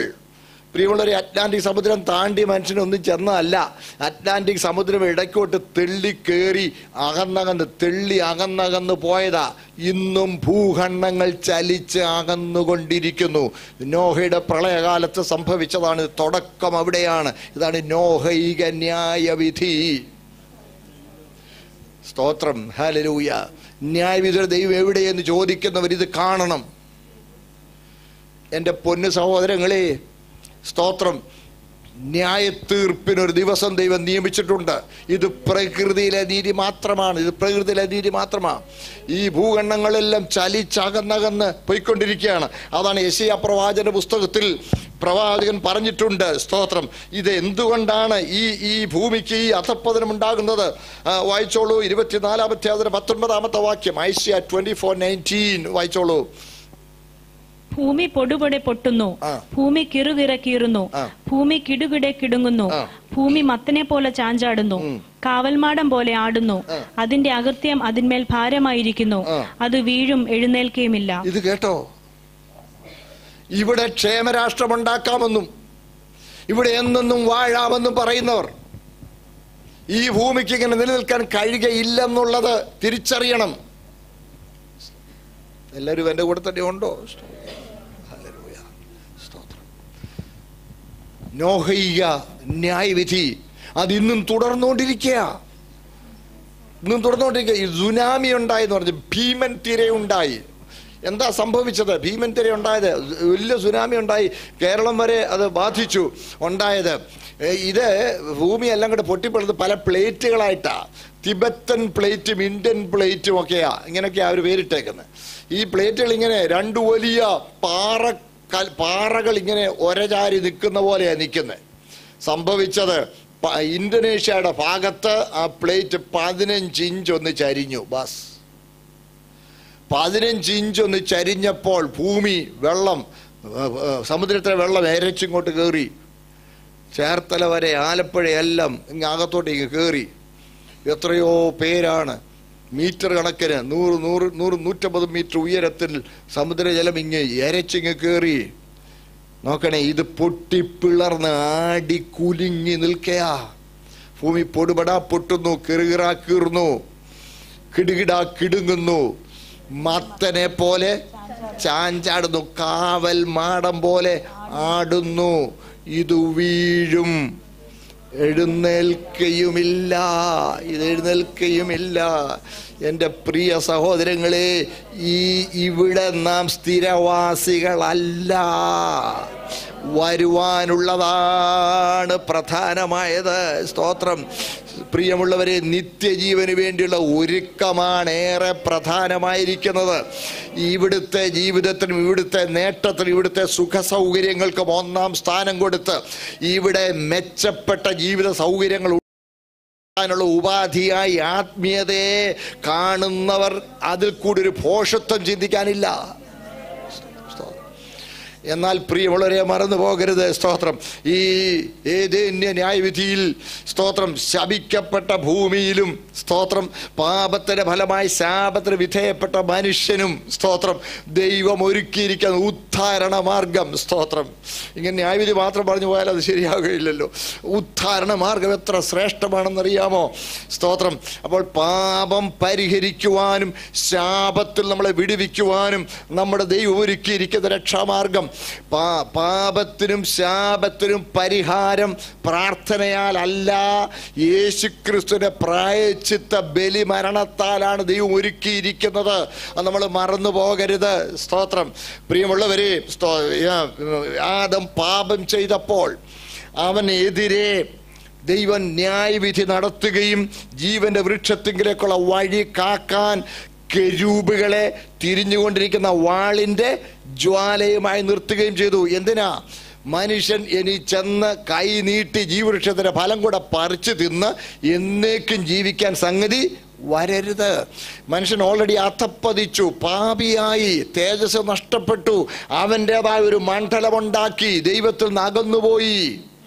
നോക്കണേ പാപത്തിന് വിധേയനായി പോയി. അങ്ങനെ അവൻ എന്നേക്കും ജീവിക്കുകയാണെങ്കിൽ മരണത്തിന് ശാരീരിക മരണം അവൻ ഉണ്ടാകാതിരുന്നാൽ സ്തോത്രം. അവന്റെ പ്രായച്ചിത്ത പാപത്തിന്റെ പ്രായച്ചിത്തത്തിനായി യേശു ക്രിസ്തു മനുഷ്യനായി വന്നാലും മരിക്കാൻ കഴിയുകയില്ല. അതുകൊണ്ട് നോക്കണേ സ്തോത്രം. നമ്മൾ ഒറ്റ നോട്ടത്തിൽ നോക്കിയാൽ ദൈവം കാണിച്ച അന്യായം വലിയെന്ന് തോന്നിപ്പോ ഞാൻ സൺഡേ സ്കൂളിൽ പഠിച്ചുകൊണ്ടിരുന്നപ്പോൾ എന്റെ ടീച്ചറോട് ചോദിച്ചു എന്നാലും ദൈവം കുറേ ഭയങ്കരനല്ല? എന്നോട് ഞാൻ പറഞ്ഞു. അവന് ടീച്ചർക്ക് എനിക്ക് തൃപ്തികരമായ ഒരു ഉത്തരം തരാൻ കഴിഞ്ഞില്ല. ചെവിക്കൊരു തിരുമ്പ് തന്നേ ഉള്ളൂ. പക്ഷേ വേദപുസ്തകം പിന്നെ പഠിക്കുമ്പോൾ നമുക്ക് മനസ്സിലാക്കാൻ കഴിയും. പ്രിയപ്പെട്ടവരെ സ്തോത്രം. അവിടെ എന്തുകൊണ്ടാണ് ദൈവം അത് തടഞ്ഞത്? മനുഷ്യൻ ചെന്ന് ഈ പാപിയായ മനുഷ്യൻ പാപാവസ്ഥയിൽ ചെന്ന് ഈ ശപിക്കപ്പെട്ട ഭൂമിയിൽ എന്നേക്കും മരണമില്ലാതെ ജീവിക്കത്തക്കതുപോലെ ഈ ജീവവൃക്ഷത്തിന്റെ ഫലം കൂടെ പറിച്ചങ്ങ് തിന്നു കഴിഞ്ഞാൽ പിന്നെ ഒരിക്കലും ഉദ്ധാരണം ഉണ്ടാവുകയില്ല ഒരിക്കലും അതുകൊണ്ട് ഉദ്ധാരണത്തിനുള്ള വഴി അവിടെ ദൈവം ഒരുക്കി. മാത്രമല്ല തേജസ് നഷ്ടപ്പെട്ട മനുഷ്യനെ സ്തോത്രം. പെട്ടെന്ന് അവന് ശാരീരിക മരണം ഒരു വേള സംഭവിക്കാമായിരുന്നെന്ന. അത് അതിൽ നിന്ന് അവനെ വിടുവിക്കേണ്ടതിന് അവന് പകരം ഒരു കുഞ്ഞാട് അവിടെ കൊല്ലപ്പെട്ടു. സ്തോത്രം. എന്നിട്ട് ആ ആടിന്റെ തോൽ കൊണ്ട് ദൈവം അവരെ ഉടുപ്പിച്ചു. ആ ഭാഗമൊക്കെ വായിക്കുമ്പോൾ എനിക്ക് ഭയങ്കര സന്തോഷം തോന്നാറുണ്ട്. പിന്നെ നമ്മളവിടെ വായിക്കുന്നത് എന്താണ്? സ്തോത്രം. അത്തിയില കൊണ്ട് അവർ അരയാടെ ഉണ്ടാക്കി. പാപം ചെയ്തപ്പോൾ ആദ്യം സംഭവിച്ച തേജസ് പോയി. നഗ്നരത് കണ്ടു. ഉടനെ അവർ കണ്ടത് അവർ ചെയ്യേണ്ടിയിരുന്നൊരു കാര്യമുണ്ട്. ദൈവമേ അബദ്ധം വന്നു. അതുകൊണ്ട് അത് ചെയ്യാഞ്ഞുകൊണ്ട് ആകൃത്യം മാറുടത്ത് കരുതി എന്ന് പറയുന്നത്. ദൈവമേ അബദ്ധം വന്നു. അവിടുത്തെ പോലെ ആകാമെന്ന് കൊതിപ്പിച്ച് ഞങ്ങൾ കൽപ്പന ലംഘിച്ചു പോയി കരുണ ചെയ്യണമേ എന്ന് നിലവിളിച്ചിരുന്നെങ്കിൽ തീർച്ചയായിട്ടും ദൈവം അവരെ സഹായിച്ചേനെ. എന്നാൽ അതിന് പകരം പ്രശ്നം ഇത്രയേ ഉള്ളൂ. ഇപ്പൊ നഗ്നത. നോക്കിയപ്പോഴല്ലേ ആനച്ചെവി പോലെ നിൽക്കുന്നു അത്തിയുടെ ഇല. പറിച്ചു കൂട്ടിത്തുന്നി അരയാടെ ഉണ്ടാക്കി. പാപത്തിന്റെ ലജ്ജ മറയ്ക്കാൻ കയ്യട പ്രവൃത്തി കൊണ്ട് അധ്വാനം അവിടെ തുടങ്ങി. ഇതല്ലേ തുടർന്നുകൊണ്ടിരിക്കുന്നത്? പാപത്തിന്റെ ലജ്ജ മറയ്ക്കാൻ കയ്യട പ്രവൃത്തി കൊണ്ട് അധ്വാനം തുടങ്ങി. സ്തോത്രം. ഇന്നും ജനകോടികൾ ജനകോടികൾ പാപപരിഹാരത്തിന് വേണ്ടി കർമ്മങ്ങളാലും ആചാരങ്ങളാലും അനുഷ്ഠാനങ്ങളാലും തീർത്ഥാടനങ്ങളാലും നോമ്പുകളാലും പാപപരിഹാരം തേടുകയാണ്. സ്തോത്രം. എന്നാൽ കൈയട പ്രവൃത്തി കൊണ്ട് പാപത്തിന് പരിഹാരം ലഭിക്കുകയില്ല. ഹലലൂയ അതുകൊണ്ടാണ് ദൈവം സ്തോത്രം അവർക്ക് വേണ്ടി അവിടെ ഒരാടിനെ കൊന്നു. അവരിങ്ങനെ നിൽക്കുമ്പോൾ അതുവരെ അവർ കേൾക്കാത്ത ഒരു കരച്ചിലിന്റെ ശബ്ദം ഏതിനിൽ മുഴങ്ങി. സ്തോത്രം. എത്തി വലിഞ്ഞ് നോക്കുമ്പോൾ അവർക്കറിയാവുന്ന ഒരാട്ട് ആട് കൊല്ലപ്പെടുന്നു. സ്തോത്രം. ഹാലരൂയ ദൈവം അതിന്റെ തോൽ ഉരിച്ചെടുത്ത് ഇവരെ വിളിച്ച് അടുത്ത് വിളിച്ചു. ദൈവ അവിടെ വായിക്കുന്ന ദൈവം അവരെ ഉടുപ്പിച്ചെന്നാ ഏഹ് യുവതന്മാരുടെ ഇടയിൽ അവരുടെ ഐതിഹ്യം അനുസരിച്ച് രാവിലെ തന്നെ ഇവരെ വിലക്കപ്പെട്ട കരി കഴിച്ചതാണെന്നും ഇവരെ നഗ്നരായതാണെന്നുമാണ് പിന്നെ വൈകുന്നത് വരെ അവർ ഇവിടുന്ന് ഈ ഈ അത്തിയില കൊണ്ട് അരയാട ഉണ്ടാക്കി റിപ്പയർ ചെയ്തുകൊണ്ടിരിക്കുകയായിരുന്നെന്ന് അവരുടെ ഐതിഹ്യം പറയും എന്ന് പറഞ്ഞാൽ അത്തിയില കൊണ്ട് അരയാട ഉണ്ടാക്കി അരയാട ഉണ്ടാക്കി വെയിൽ ഉദിച്ചപ്പം ഒരെണ്ണം അങ്ങോട്ട് ഒരെണ്ണം ഇങ്ങോട്ട് പോയി ഓട്ടയായി. വേറെണ്ണം പറിച്ച പാച്ച് വർക്ക് ചെയ്തു. വൈകുന്നവരെ ഇതായിരുന്നു പരിപാടി. പക്ഷെ വൈകുന്നവരെ ആയിട്ടും നാണം മറയുന്നില്ല. ശ്രദ്ധിക്കുക അങ്ങനെ ഇരിക്കുമ്പോൾ ദൈവം. വൈകുന്നവരെ അധ്വാനിച്ചില്ല എന്നെ പറ്റിയടാ? എന്നാ ചെയ്തു? വലിയ നേടിയോ? വേണേ കൊടുക്കടാ എന്ന് പറഞ്ഞ് എറിഞ്ഞു കൊടുക്കുമായിരുന്നില്ല. ഓ സ്വർഗീയ പിതാവ് സ്നേഹവാനായ ദൈവം അവരെ ഉടുപ്പിച്ചു എന്ന് പറയുമ്പോൾ ഹല്ലേലൂയ സ്തോത്രം. ആ കരുതൽ എത്ര വലുതാ സഹോദരങ്ങളെ ആ കരുതൽ എത്ര വലുതാണ് സ്തോത്രം. ആ കരുതൽ വളരെ വലുതായിരുന്നു സ്തോത്രം. അവരെ ഉടുപ്പിച്ചു തന്റെ സ്നേഹം അവിടെ വെളിപ്പെടുത്തുകയാണ് സ്തോത്രം. മാത്രമല്ല അവിടെ കെരൂബുകളെ തിരിഞ്ഞുകൊണ്ടിരിക്കുന്ന വാളുടെ ജ്വാലയുമായി നിർത്തിയതൊക്കെ പറയുന്നത് വളരെ ശ്രദ്ധേയമായ കാര്യമാണ് സ്തോത്രം. കെരൂബ് എന്ന് പറയുന്ന ഒരു ദൂത സമൂഹമാണ് അഞ്ച് ദൂത സമൂഹങ്ങളുണ്ടെന്ന് പറയുന്നവരുണ്ട് ഏഴ് ദൂത സമൂഹങ്ങളുണ്ടെന്ന് പറയുന്നവരുമുണ്ട്. കെരൂബുകൾ സാറാഫുകൾ രഥങ്ങൾ വാഴ്ചകൾ അധികാരങ്ങൾ സിംഹാസനങ്ങൾ കർത്തൃത്വങ്ങൾ. ഇങ്ങനെ ഏഴ് ദൂത സമൂഹങ്ങളുണ്ട് എന്ന് പറയുന്നുണ്ട് സ്തോത്രം. ഇതിൽ ഒരു ദൂത സമൂഹമാണ് കെരൂബ്. ദൈവ സാന്നിധ്യവുമായി ഏറ്റവും അടുത്ത് ഇടപെടുന്ന ദൂത സമൂഹമാണ്. അതിൽ അതിന്റെ ലീഡറായിരുന്നു ലൂസിഫർ. അതിന്റെ ലീഡറായിരുന്നു ലൂസിഫർ. ഈ ലൂസിഫർ മറ്റ് ദൂത സമൂഹങ്ങളെപ്പോലും സ്വാധീനിച്ച് ആകെ ദൂതന്മാരിൽ മൂന്നിൽ ഒന്നിനെ വീഴ്ച കളഞ്ഞു. പക്ഷെ ലീഡർ വീണുപോയിട്ടും ദൈവത്തോട് വിശ്വസ്തരായിരുന്ന കരൂപുകൾ ആ കരൂപുകളുടെ കയ്യിൽ ഒരു ചെറിയ പ്രലോഭനത്തിന് വീണുപോയ മനുഷ്യനെതിരെ വാൾ കൊടുത്തു. മനസ്സിലാവുന്നുണ്ടോ? സ്തോത്രം സ്തോത്രം. കെരൂബുകൾ അവരുടെ ലീഡർ വീണുപോയി. ലീഡർ വീണുപോയിട്ടും ദൈവത്തോട് വിശ്വസ്തരായി തുടർന്ന കെരൂബുകളുണ്ട്. ആ കെരൂബുകളെയാണ് വീണുപോയ പാപം ചെയ്ത മത്സരിച്ച മനുഷ്യനെതിരെ ശിക്ഷാവിധിയുടെ വാളുമായി ദൈവം കാവൽ നിർത്തിയത്. ഹാലേലൂയ സ്തോത്രം. പ്രിയമുള്ളവരെ അതുകൊണ്ടാണ് നമുക്ക് മറ്റുള്ളവരെ ഒന്നും വിധിക്കാൻ അധികാരമില്ലെന്നേ. കാര്യം അതല്ലേ കർത്താവ് ആ പാപിനിയായ സ്ത്രീയെ കൊണ്ട് നടുവിൽ നിർത്തിയപ്പോൾ കർത്താവ് പറഞ്ഞു പാപമില്ലാത്ത രാജ്യത്തെ കല്ലെറിയട്ടെന്ന് പറഞ്ഞു. പാപമില്ലാത്തവൻ ആദ്യം കല്ലെറിയട്ടെ. ഒരുത്തന് പോലും എറിയാൻ യോഗ്യതയില്ല. പക്ഷെ കർത്താവിന് വേണേ എറിയാം. കർത്താവ് എന്താ പറഞ്ഞത്? ആരും നിനക്ക് ശിക്ഷ വിധിച്ചില്ലേ? ഞാൻ നിനക്ക് ശിക്ഷ വിധിക്കുന്നില്ല. പോക. ഇനി മേലാൽ പാപം ചെയ്യരുത്. പറഞ്ഞു വിടുകയാ സ്തോത്രം. പ്രിയമുള്ളവരെ അങ്ങനെ സ്തോത്രം. അട്ടെ ഏത് എന്നെ പാപത്തിന് സ്തോത്രം. കർത്താവ് പരിഹാരം വരുത്തി. ഏതെല്ലാം ന്യായവിധിയില്ല ആ വിധിക്ക് പരിഹാരം വരുത്തി. മനുഷ്യവർക്ക് പാപത്തിന് പരിഹാരം വരുത്തി. സ്തോത്രല്ലേ ഒരു ചെറിയ വിശദീകരണം വേഗം പറഞ്ഞ് ഞാൻ ഉപസംഹരിക്കാം. ശ്രദ്ധിക്കണേ. സ്തോത്രം. പാപവും അതിന്റെ ഫലമായ ശാപവും ഇന്ന് അത് സംബന്ധമായി എത്ര നാളായി വിശദീകരണം തന്നാലും പിന്നെയും ആളുകൾ ഈ വഞ്ചകന്മാരുടെ പ്രലോഭന വാക്കുകളിൽ വീണു പോകുന്നത് കണ്ട് ദുഃഖം തോന്നുന്നു. പ്രിയപ്പെട്ടവരെ പാപം പരിഹരിക്കപ്പെടാതെ ശാപം മാറുകയില്ല. പാപം പരിഹരിക്കപ്പെട്ടെങ്കിൽ പിന്നെ ശാപം നിങ്ങളെ തുടരുകയുമില്ല. സ്തോത്രം. അതുകൊണ്ടാണ് കർത്താവ് ഇവിടെ വന്ന് ശാപമരണം വരിച്ചു. പാപത്തിന്റെ ഫലമായ ശാപത്തിന്റെ അടയാളമായിട്ടാണ് ഏതന്യ ന്യായവിധിയിൽ മുള്ളും പാറക്കാരെയും മുളച്ചത്. മുള്ളും പറക്കാരെയും മുളച്ചു. ശ്രദ്ധിക്കണേ അപ്പോൾ മുള്ളും പറക്കാരെയും പാപത്തിന്റെ ഫലമായ ശാപത്തിന്റെ അടയാളമാണ്. സ്തോത്രം. അതുകൊണ്ടാണ് യേശു ക്രിസ്തു ഇവിടെ വന്ന് മുൾമുടി ധരിച്ചത്. ശ്രദ്ധിക്കണേ മുൾമുടി ധരിച്ചത്. നമ്മൾ നോക്കിയാൽ മോശയ്ക്ക് ദൈവം പ്രത്യക്ഷനാകുമ്പോൾ ഹോരേബിൽ പ്രത്യക്ഷനാകുമ്പോൾ മുൾപടർപ്പിൽ തീയരിയുന്നു. മുൾപ്പടർപ്പിൽ തീയരിയുന്നെങ്കിലും മുൾപ്പടർപ്പ് കത്തി പോകുന്നില്ല. ഒത്തിരി അർത്ഥമുള്ള ഒരു വലിയ വെളിപ്പാടാണത്. ഒരു വലിയ ദർശനമാണത്. അതിന് ഇതുമായി ബന്ധപ്പെട്ട ഭാഗം മാത്രം ഒന്ന് ശ്രദ്ധിച്ചാട്ടെ സ്തോത്രം. ഈ അഗ്നിമയമായ ഒരു പ്രമാണമെന്നാണ് ന്യായപ്രമാണത്തെക്കുറിച്ച് പറഞ്ഞിരിക്കുന്നത്. അഗ്നിമയമായ പ്രമാണം സ്തോത്രം. ഈ അഗ്നിമയമായ പ്രമാണം സ്തോത്രം പാപത്തിനോ ശാപത്തിനോ പരിഹാരം വരുത്തുവാൻ മതിയായതായിരുന്നില്ല. ന്യായപ്രമാണത്താൽ പാപപരിഹാരവും ശാപത്തിൽ നിന്നുള്ള മോചനവും സാധ്യമാകുന്നില്ല എന്നുള്ള സന്ദേശവും മുൾപ്പടർപ്പിൽ തീ എരിഞ്ഞിട്ട് മുൾപ്പടർപ്പിന് മാറ്റം വന്നില്ല. മുൾപ്പടർപ്പിൽ മാറ്റം വന്നില്ല.